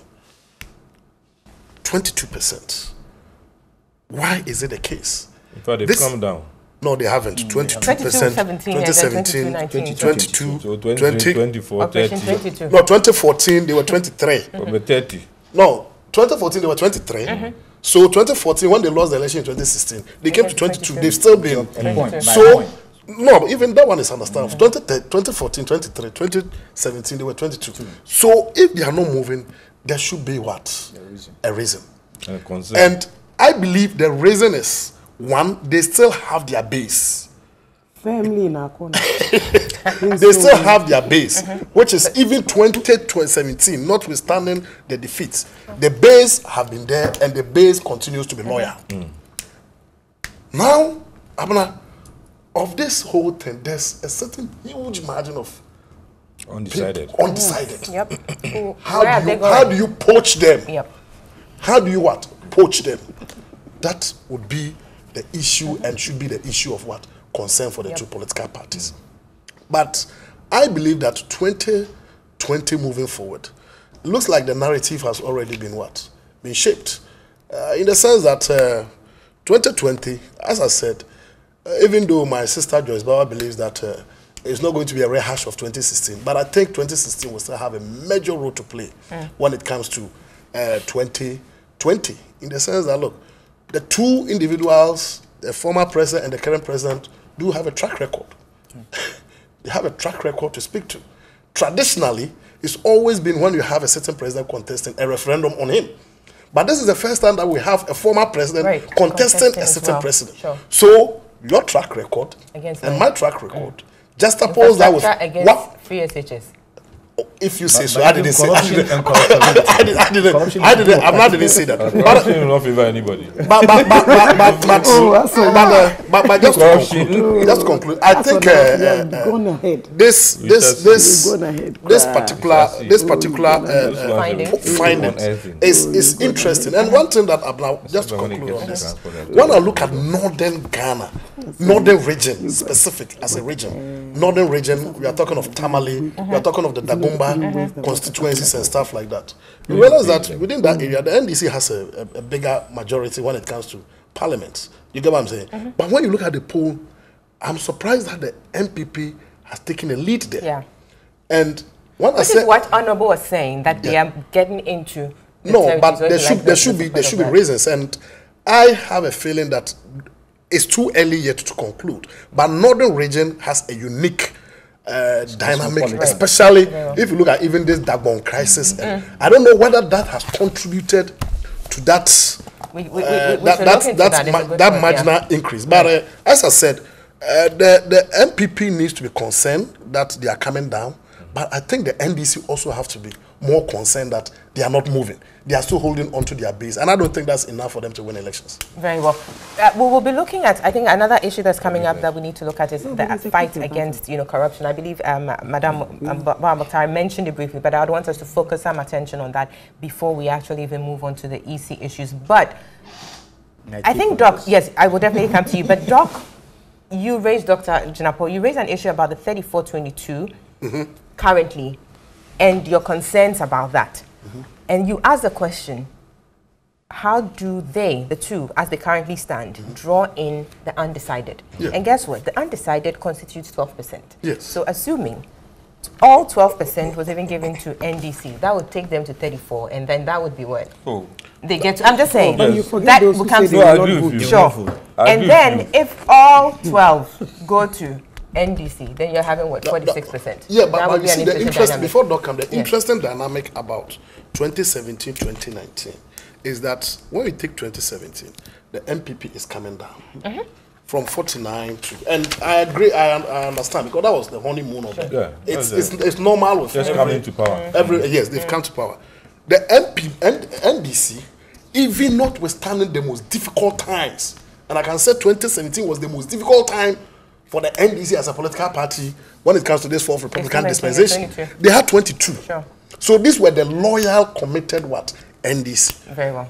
Coming down two years down the line, they are still holding on to the what? The 22. Mm. And I find that a little bit problematic. Right, right. That's fine. Uh, Doc, your, your thoughts on this? I mean, looking at the the graph again, the varying years, do you think that the timing of the survey would have an impact on the responses? Because you're looking at times when, you know, there are election years, for instance, 2012, 2018, 2008, and then you have years that come after an election year. So, for instance, 2017 coming after 2016, yes, there's that euphoria, and def- definitely reflecting in the kind of you know responses we got. And then if you look at 2205, that is also coming after 204 elections. Again, that euphoria with Kufuor winning his second term, 52. So, do you think that when we're looking at it, we should also be mindful of the the years in between. exactly. Yeah, yeah I think I think I, I agree with you that if you're just going to focus on maybe doing the survey maybe a year after a popular electoral victory, Mm-hmm. people are more likely going to still repose confidence in the winning candidate and Right. in the winning party than when you look at the years in between. So I think the years in between play the crucial that they make the determination and then the differences. Mm. But I just want to come back to the 42% who said they won't vote. The Now- forty-two percent didn't say they won't vote. Oh, sorry, I think It's if you break it eleven percent who ele- said they won't vote. Twelve 11% are ele- no. undecided. 11% said they don't know who to vote, right? Yeah. It's not that they won't vote, they don't know. They don't know. Whom to vote for? Yes, and then 19% said 19% didn't not answer. vote. They will not, they will not answer. Okay. Yes. Nineteen refused to to answer. 19 didn't Yes. answer. Twelve don't know. 12 don't know. Eleven will not Yeah. vote. vote. So I think I think that is significant. Yeah. So Yeah. 11, Mm-hmm. 11 will not vote. Mm-hmm. 12 don't know who to vote mm-hmm. for, and 19 will not disclose. Mm-hmm. That's about 40 something. That, that's 42. Yeah. That- that's why I said 42. If, okay, you can break that. But them is it okay to put it together that way? It's, it's not okay to put them. yeah. There are different things Totally. altogether. You see, people who say I will not answer, maybe they should have proved further. So I will not answer means that I have a candidate, Yes. though I won't tell you who I'm going to vote for. If people begin to say that, maybe they had a candidate they had so much trust in, and then maybe the trust was waning, waning. So maybe they are not willing to disclose, right? Then the the what's the name? The 11% who said they don't know who to vote for. I don't know whether they think all these two parties Would are doing vote. so well Eleven don't know. Don't would not will vote. not vote. No. Okay, I'm not talking. I said those who don't know who to vote That's for. 12%. That's 12. I'm not sure whether these parties are doing so well or they are not doing so well. That's why they are still undecided. And then the 11% is actually the apathy. But what is more interesting to me is the demographics. If you if you go further, you see that uh, what's the name? 17%. That is inclination of those who said uh, those who said they will not. Uh, what's the name? The inclination to vote, sorry, not to vote, was highest among the educated. Right. 17%. And when you tend to look at the educated, people usually classify them among the rational voter population.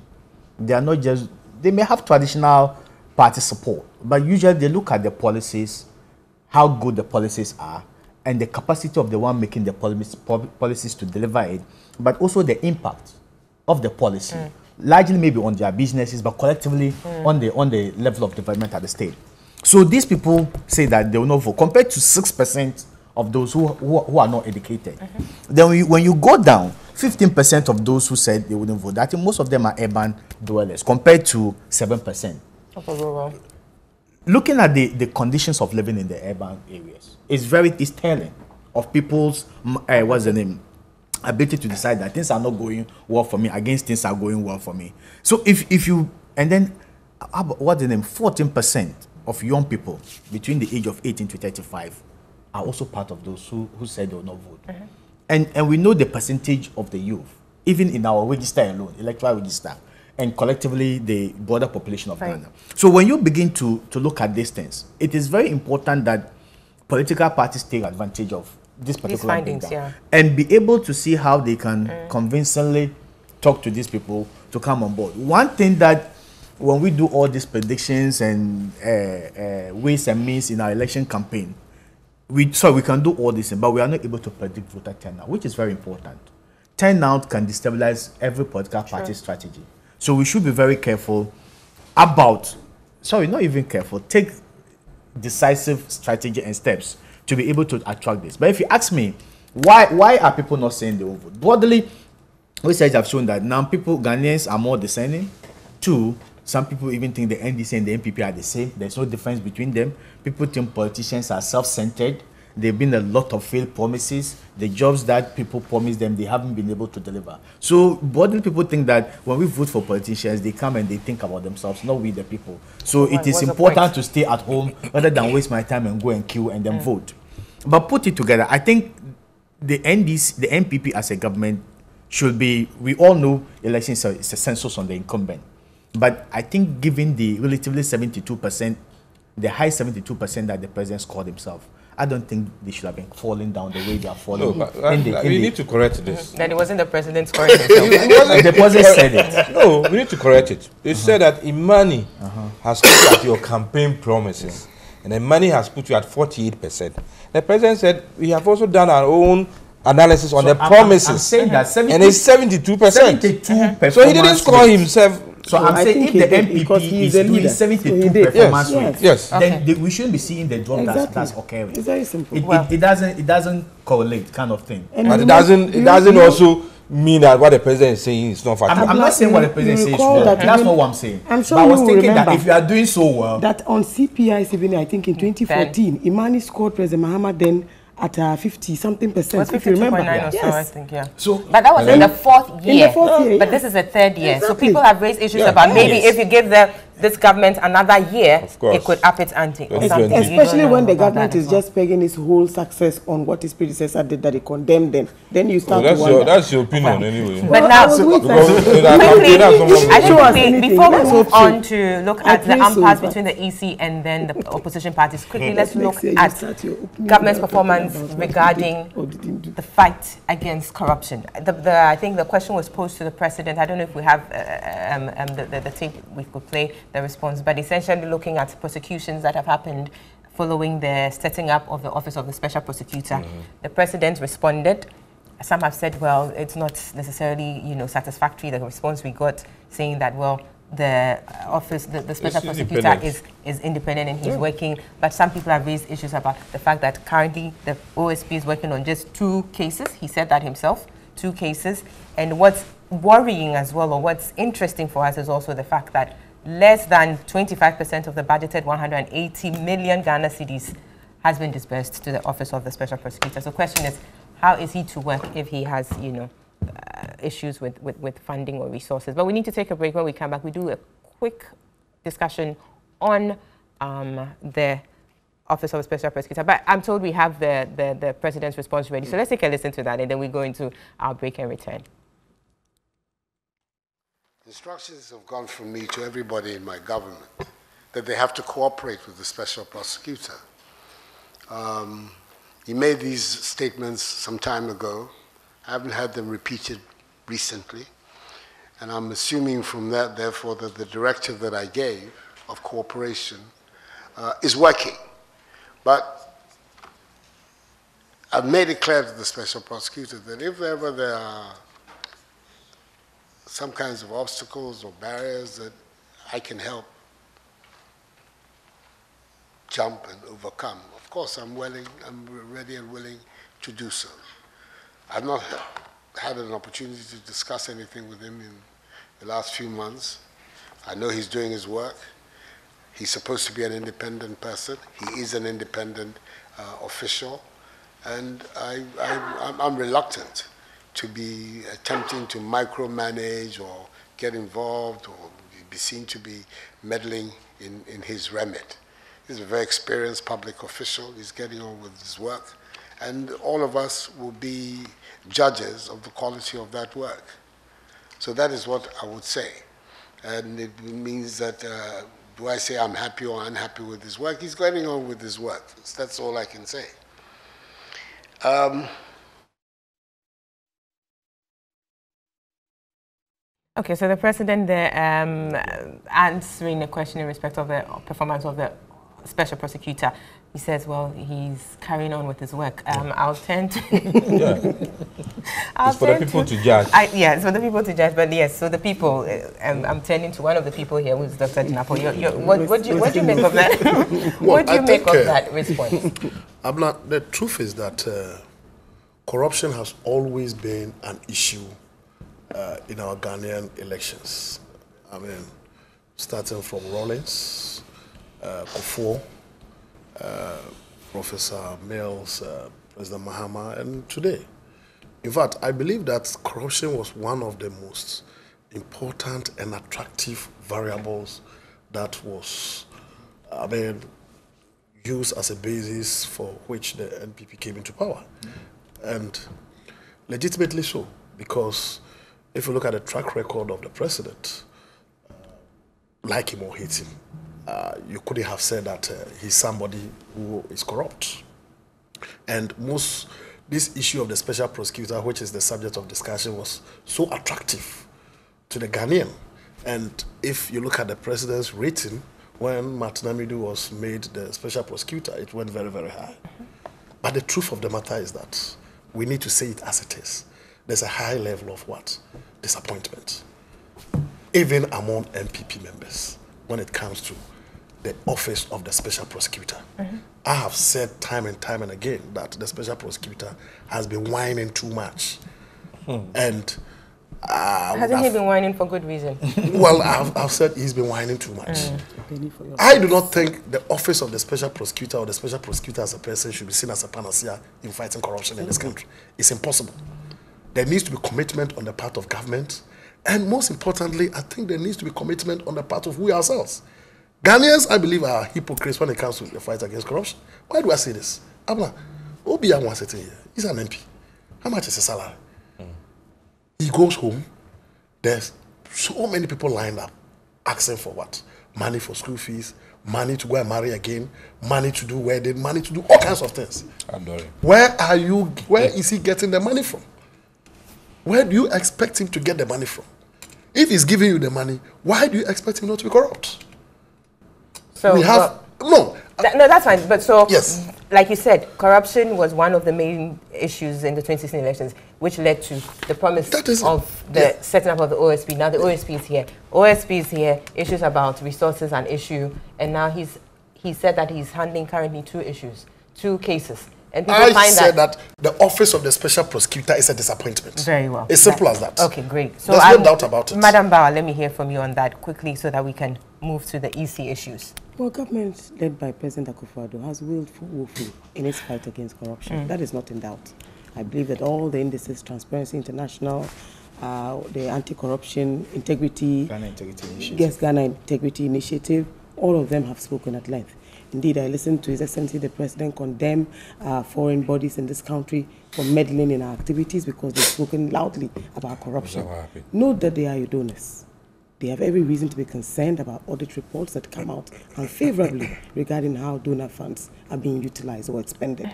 Indeed, they talk about family and friends. Cronyism is a part of corruption because you cannot critic, critic or basically even criticize or challenge your cronies if you bring them into government to support your efforts. Indeed, when it comes to corruption, I think it is at the lowest ebb mm. that the Office of the Special Prosecutor on its own suo motu will be unable to deliver as promised. Because first and foremost, I do think that a lot of criticism was attached to the comments recently by the Special Prosecutor himself. He has since decided not to further comment publicly about his issues. Indeed, I've heard also the Auditor General, who was attempted to go public and comment publicly on his work and the difficulties facing him as an individual leading an anti-corruption agency receive enormous condemnation, largely from the persons in government.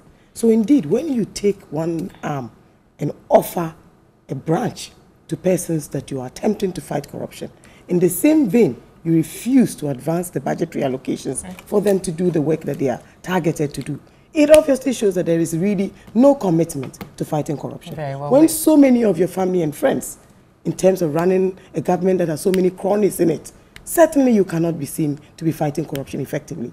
I think that let's admit that corruption is at its lowest, that very little is being done, that indeed many challenges, including one of the corruption agencies themselves, led by the Procurement Authority, nothing has been heard so far about what has been done to the individual who resigned or was suspended, because of breaches yeah. in procedure. And many of these procedural breaches have come up for discussion. The National Youth Employment Agency, we're still waiting. Huge sums of money have been dissipated, and so far nothing is being done. When you read the dictionary, there's a good reason why they define cronism, they define family and friends. It is all part of the perception that feeds into corruption. Thank you. A We lot of the time, the conversations we had even in the past, you would realize that they actually pale in comparison to what is being done today. Very You've well. heard about the spat between the senior minister himself and the auditor general. Is that not a way to gag an individual who wants to fight corruption? Well, Government I mean- must show Well, clear that direction not and commitment. That, that well, Uh, they again, it depends on who, coming from a lawyer is very rich. who is speaking. But as Well, I whether heard- that is to I gag heard- the I heard Auditor General, conversation I about needed- I need to have a take on this. But we, oh, we definitely come back. When we come back, you and Dr. Alidu Seidu would have your bites on this, and then we move straight into the EC and the biometric voter registration matters. See you shortly.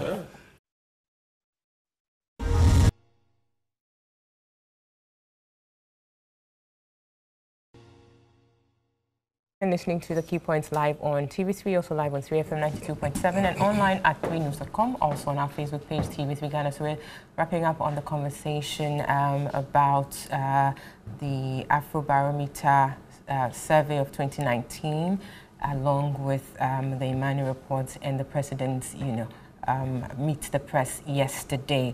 Currently, we are focusing on his response in respect of um, corruption, particularly looking at the setting up of the Office of the Special Prosecutor and the performance of that Special Prosecutor. I'll be going to Honorable O.B. Amoah and Dr. Ali Seidu for their perspectives on that. But before then, let me quickly read some uh, messages that have come through uh, from our viewers and listeners.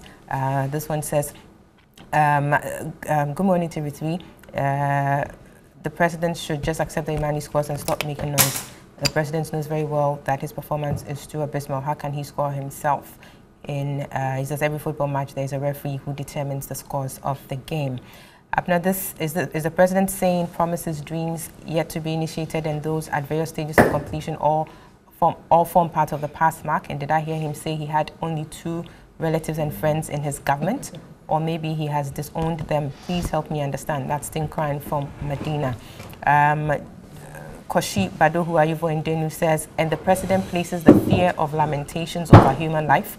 What thinking went into this decision? And he contradicted himself by saying at the end of his presentation that all roads can't be done at a go. The ambulances must be launched in line with the showmanship character of his leadership. That's sad. Um, this one also says, good morning, thank you for the discussion. I wish to say that our politicians should know that impact is important, but they also focus on quantity by promising a lot. The average Ghanaian will also want to see how many of the campaign promises are achieved, not necessarily their impact. I believe that what that's what informed Imani's line of questions. Um, good morning, TV3. I was so disheartened when the president said he was not, he has not regretted appointing 125 ministers for a small country like Ghana. The president has failed the people of Ghana. The arrogance is too much. The family and friends in the government mm. has culminated uh, into high levels of corruption in the country.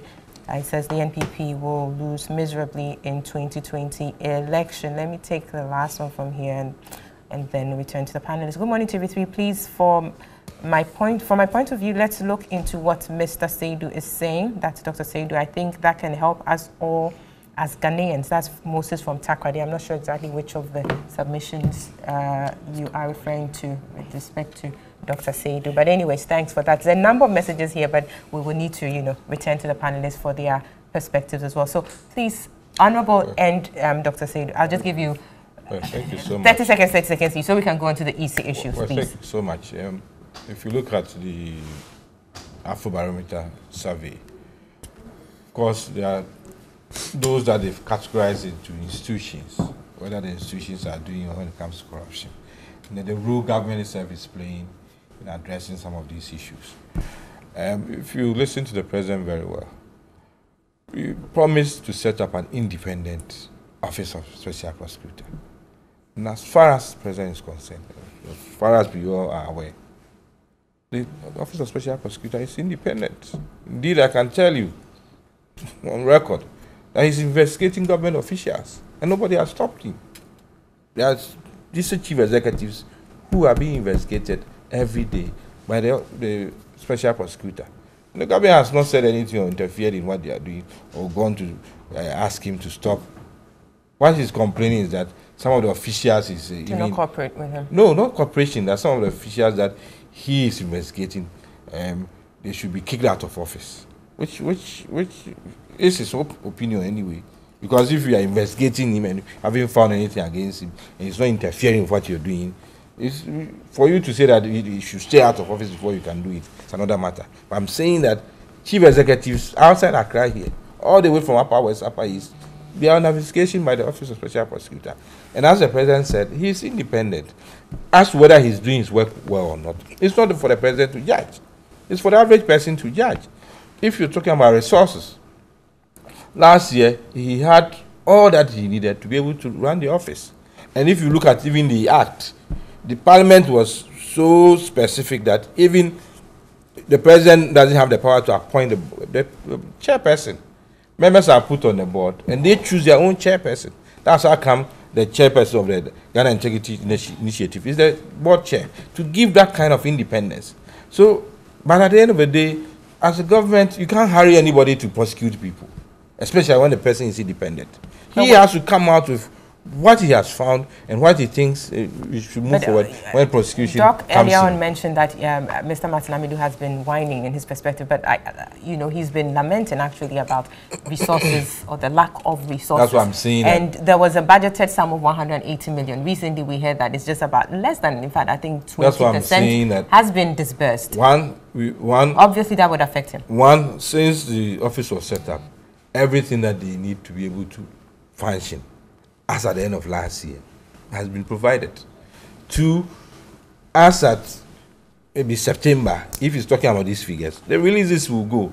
And he has not come to say Between that. now and December, I mean, when the last, when the last. No, I'm saying that month. the figure that he gave was Mm. way before when the budget was even uh, submitted. But I'm saying that is he saying that is because what because the issues he raised are something like I need ten I need fifty people to be able to do the work.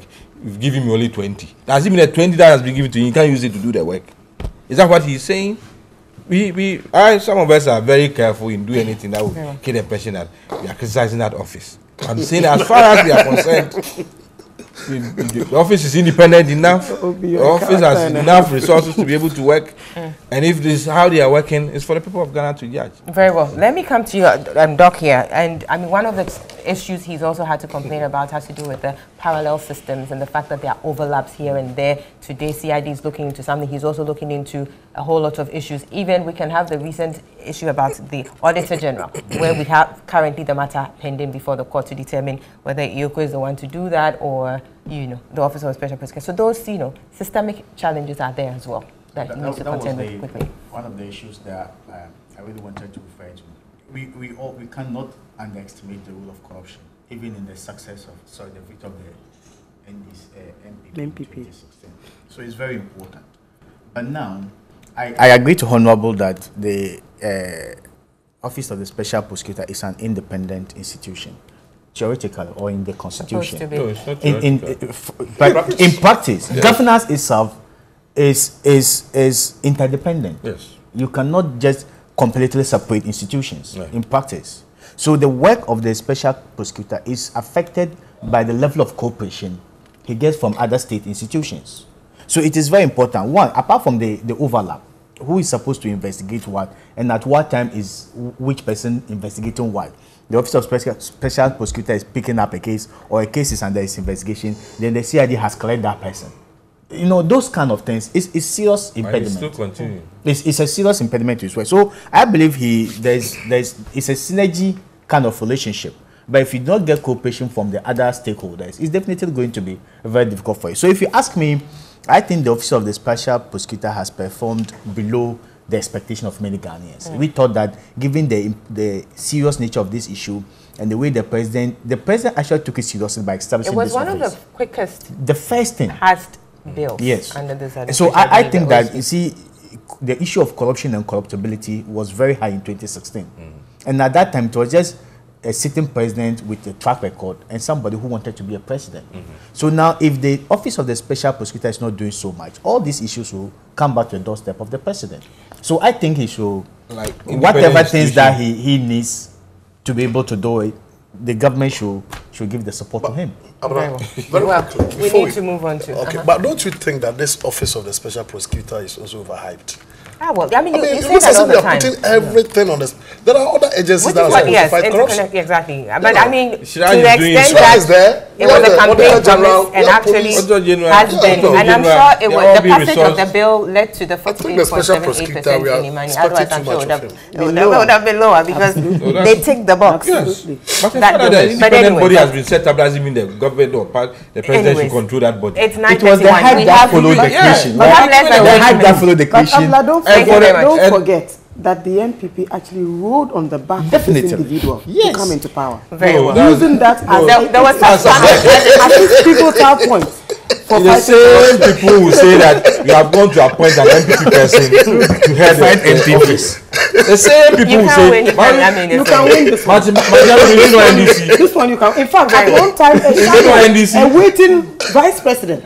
So he tells Shadow- you shadow that NDC. he was vice president. He was a But it's political Martin Amidu assistant, NPP. and he was nothing to do with the, the people Is of there- White is there- House. Abdullah Mosquito? That people have nothing to do with That's okay. NPP. I'm Let's not move on. Thank you. You haven't had- answered that question. said You have had to nothing open to a do can with of fighting worms. corruption. Thank you It very had much. nothing to do with fighting Thank you very much. Everything to do with propaganda. Thank you very much. Let's move do on. with Shall we, shall we move himself on, is saying please? that It had the nothing to election do with here, he doesn't want to Thank do you. prosecution because Honourable. the thing that is biased. Honourable, You're were you at the IPAC meeting? Yes. Were you Sorry? there at the IPAC meeting? I wasn't. But you, uh, you, you do attend have- IPAC yes, meetings very well. So I- I now, represent NPP on this IPAC. week, we, we heard news broke about the fact that some um, opposition and, uh, parties of, led by the NDC actually staged a walkout of an IPAC meeting. I think we have uh, the video of that. Let's take a quick look at that and then come to the panel for their perspectives on that.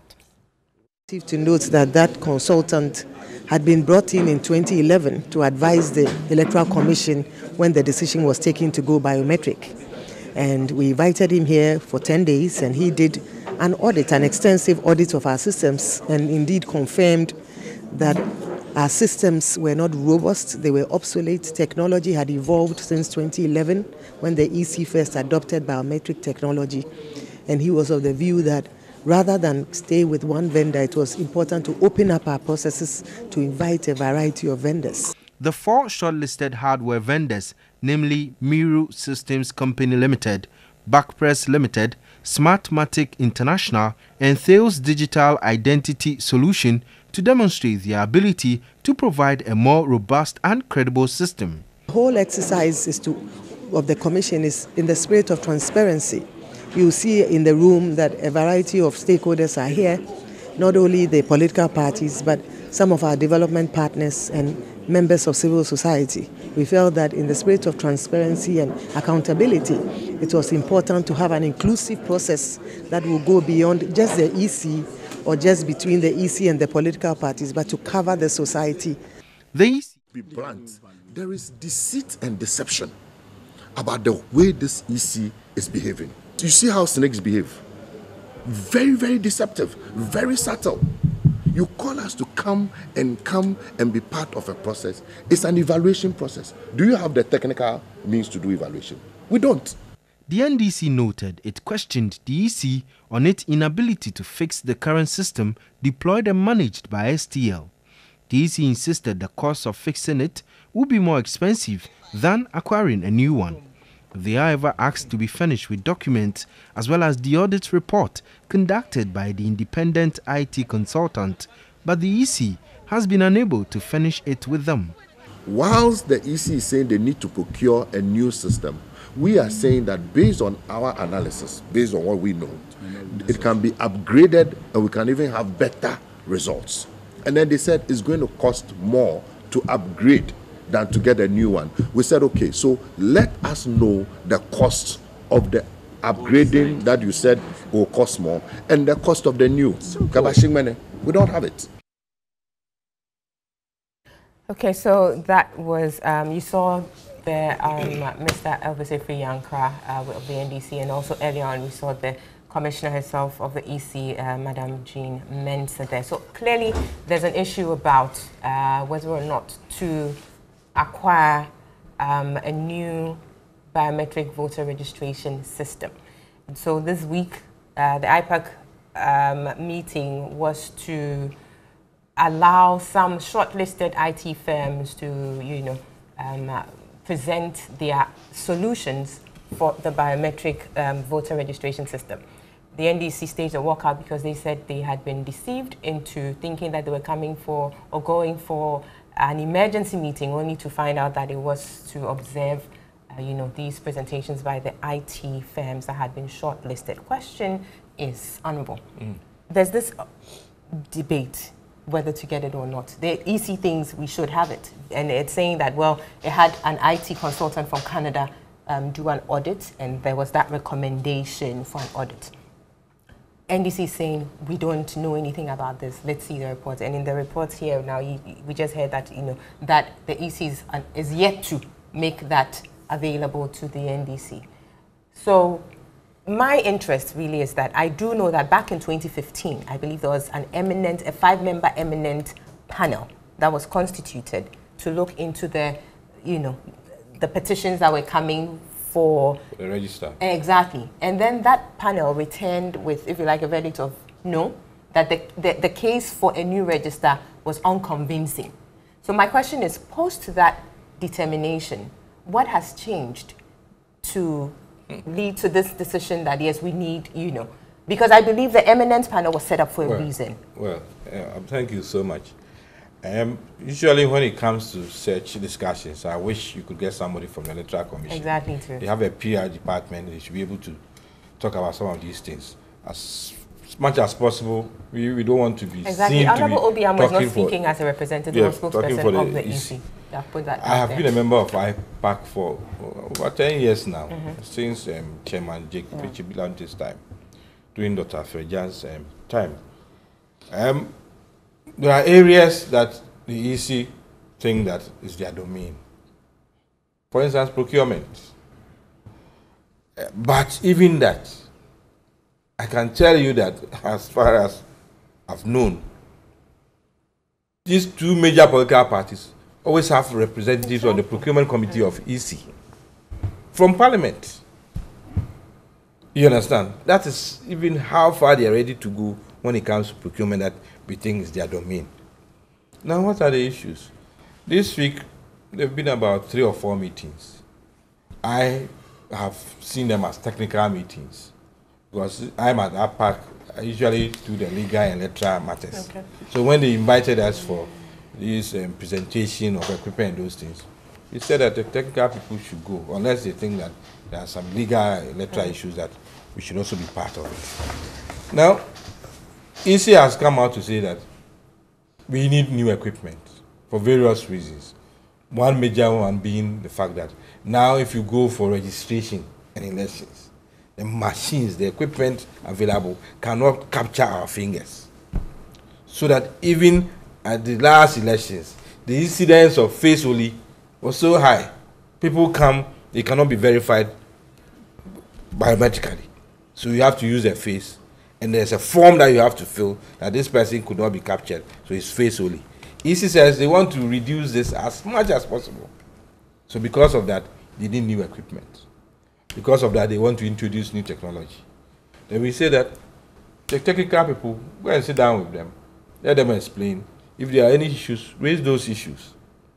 That is it. Now, our friends are bringing in one aspect that they were not consulted, they were not invited early enough. But the invitation given to NPP is the same invitation given to our parties. And they invited us, give us notice. I have all the records here. So the invitation was purposely to come and Yes, observe. that's how some, some of us said that the technical people should go. Because we knew why they had invited us. And then the second thing is, why you upgrade, why don't you upgrade? Um, it's less expensive than uh, buying new equipment. The EC is saying that we've done assessment of upgrading and then new equipment in at the data center level. And when we're supposed to upgrade, the figures they brought us 15 million. But when we did a new one, it came to 7.5 million. So that it doesn't necessarily follow that if you're upgrading, it's, Cheaper. it- it's cheaper. Now the main issue is that show us that if you want to do a new one, it will be cheaper than upgrading. But at this stage, how do you expect the EC to show it? This is a time that vendors are coming to bid and show what they can offer. So how can the EC say that um, when we do this, they have the figures, but they can't disclose it? This is what we'll be expecting. So if you're a vendor and you're going to bid above that, you may not be successful. But it doesn't mean they should tell the whole world that uh, upgrading will cost us this, new one will cost us this. At this stage. So the issue at this stage is so you're saying there's no decision clearly now that we are going for a new one based on some figures, but that let them come and demonstrate, Yes. and then we get their quotations. If the quotations turn out to be cheaper than the cost of upgrading, then we go with the new one. What I'm saying is that because it's competitive, because various vendors have been invited to come and show what they can do, and later on even show the cost. It's not a for it's not for EC down to tell us about the cost Very because well. they haven't even arrived at the cost. Honorable, we need to take a break. We'll take a break and we'll be back shortly Oh, this to time. finalize it. I know. The breaks are more than that. So we'll see you in a bit.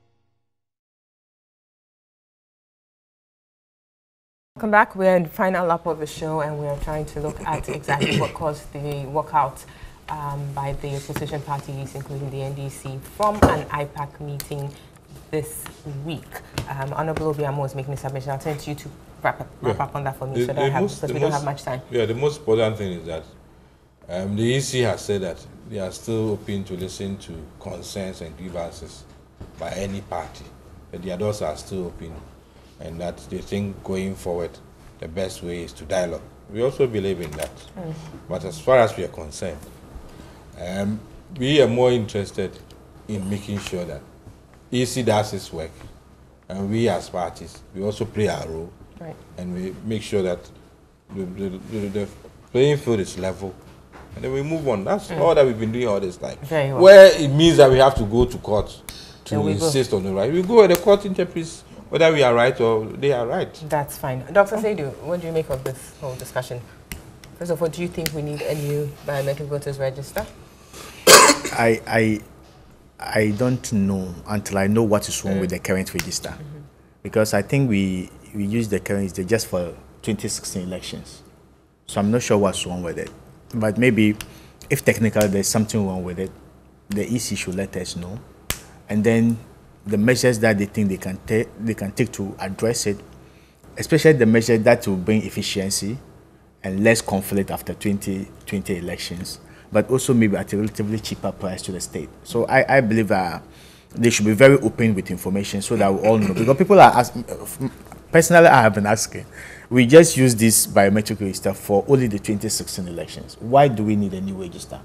So apparently, maybe the EC, the public affairs unit of the EC, should come out with information. Maybe these are the challenges that we have identified with the current register, and we believe that using the same register in 2020 is going to create this problem or that. Then this is what we, we want to address it. But I, I don't understand what is going on. So I, I, I seem to to be at a loss. Why we need a, a, new external. But I also think IPAC is supposed to be a consensus building Exactly. platform rather than a platform of disagreement. So whatever the issue might be, political parties are the direct beneficiaries of the processes of the EC, but also from the uh, the, the voters register that we have. They should be able to judge or and then uh, come up with a, a solution that will be acceptable to all of them so that we can have a peaceful election 2020. Very well, That's Madam just George Barra, your perspective Well, on this you moving forward. much. Your party is saying that they've been deceived. I must be honest that attending that coming, coming events cast their shadows. when all those efforts and all those uh, absolutely needless and lawless attempts were made to totally remove Charlotte Osei from that commission, It's not true. we all knew then that this was actually going to be a sign of things to come. But for the manner of the appointment of the current EC commissioner, I'm sure that maybe there'll be a lot less suspicion and ambiguity and ambivalence. And of course, if you even look at it in context, note that from the moment Charlotte Osei was announced as a nominee, there was enormous agitation, attempts to discredit her, enormously disparaging to say the least. I believe that Madame Jean Osei has suffered a lot less. But when it comes to the working processes and procedures of the Electoral Commission, look at other jurisdictions around us. The UK has just come out of an election. Have you heard any conversations around who the EC is? Do you even know who the Electoral Commissioner is in the United Kingdom? Do you know who takes care of the Electoral College? If we want institutions to work, we must actually be seen to be allowing them to work. Right. If we want individuals to occupy positions of trust and be seen as trustworthy, not just by other political parties, but of course by citizens as well, we need to take our appointments more seriously. Seriously. The manner of criticism, the level of mistrust, the level of accusation that came from the New Patriotic Party set the tone for what is happening today. Very well. In any case, I I can. mhm. IPAC is a body that was established. Do you remember every effort Charlotte Osei made in her day to introduce any form of amendment? The levels that our opponents at the time took it to. Today, it is actually heartwarming that the Honorable O.B. admits that considering the work of the same IPAC, they believe that an individual who occupies the seat as commissioner at any time will be unable to manipulate the election to suit anybody. let's hope that the next 10 years we will see an electoral commissioner whose work will be objective, whose appointment will receive acclaim across the divide, Mm, so that there's less suspicion, there's less deception, and less room Thank for all you. this acrimony that we Thank do not you. require. I give the last minute to you, Doc. Well, I'm not thinking very quickly. Uh, I call this deja vu. Deja vu in the sense that uh, if you listen to uh, my sister Joyce uh, during her submission, there's one name that keeps ringing up Charlotte Osei, Charlotte Osei. So uh, it's always characteristic of uh, uh, parties. And I believe one fundamental thing that the Electoral Commissioner, especially, needs to uh, do is to win the trust of the, the populace. Because uh, when there's lack of trust, I don't think such a simple exercise like this, changing, uh, uh, what do they call it, a register or machines, should create uh, any kind of uh, problem. Because at the end of the day, I believe the political parties are interested in having a very credible Exactly. and effective election. So anything that will enable to, I mean, a credible elections, I think they should accept it. But it all boils down to lack of trust. And, And I would why say, IPAC was there to ensure yes, I think it boils that down to a lack like- of trust. And I'll, I'll, I'll honestly and more or less respectfully uh, employ the electoral commissioner to be a little bit circumspect when it comes to public Engagement. out engagements. Mm. You know, if you remember, Afari-Gyan was not the type who used to. You can make all your noise. She will never speak to the media. He has, she has a lot of uh, people who can speak on department, her yeah, behalf. yeah. I think she should she should be measured Mm. in terms of her public uh, utterances and stuff like that. Very well. Thank you very much. On that note, we bring the um, we, we draw the curtains on the show this morning. Thank you so much for making a date with us. And to my panelists, I say a big thank you to you, Honorable O.B. Amoah, Deputy Minister for Local Government and Rural Development, also MP for Clapham South constituency, Madam Joyce Bawah Mogtari, spokesperson for um, former President J. John Dramani Mahama, Dr. Ahmed Janapo, uh, Senior Lecturer, University of Education, Winneba, and Dr. Alidu Seidu, Senior Lecturer, Department of Political Science, University of Ghana. We'll be back here same time next week. Do have yourselves a very, very good weekend. Bye-bye.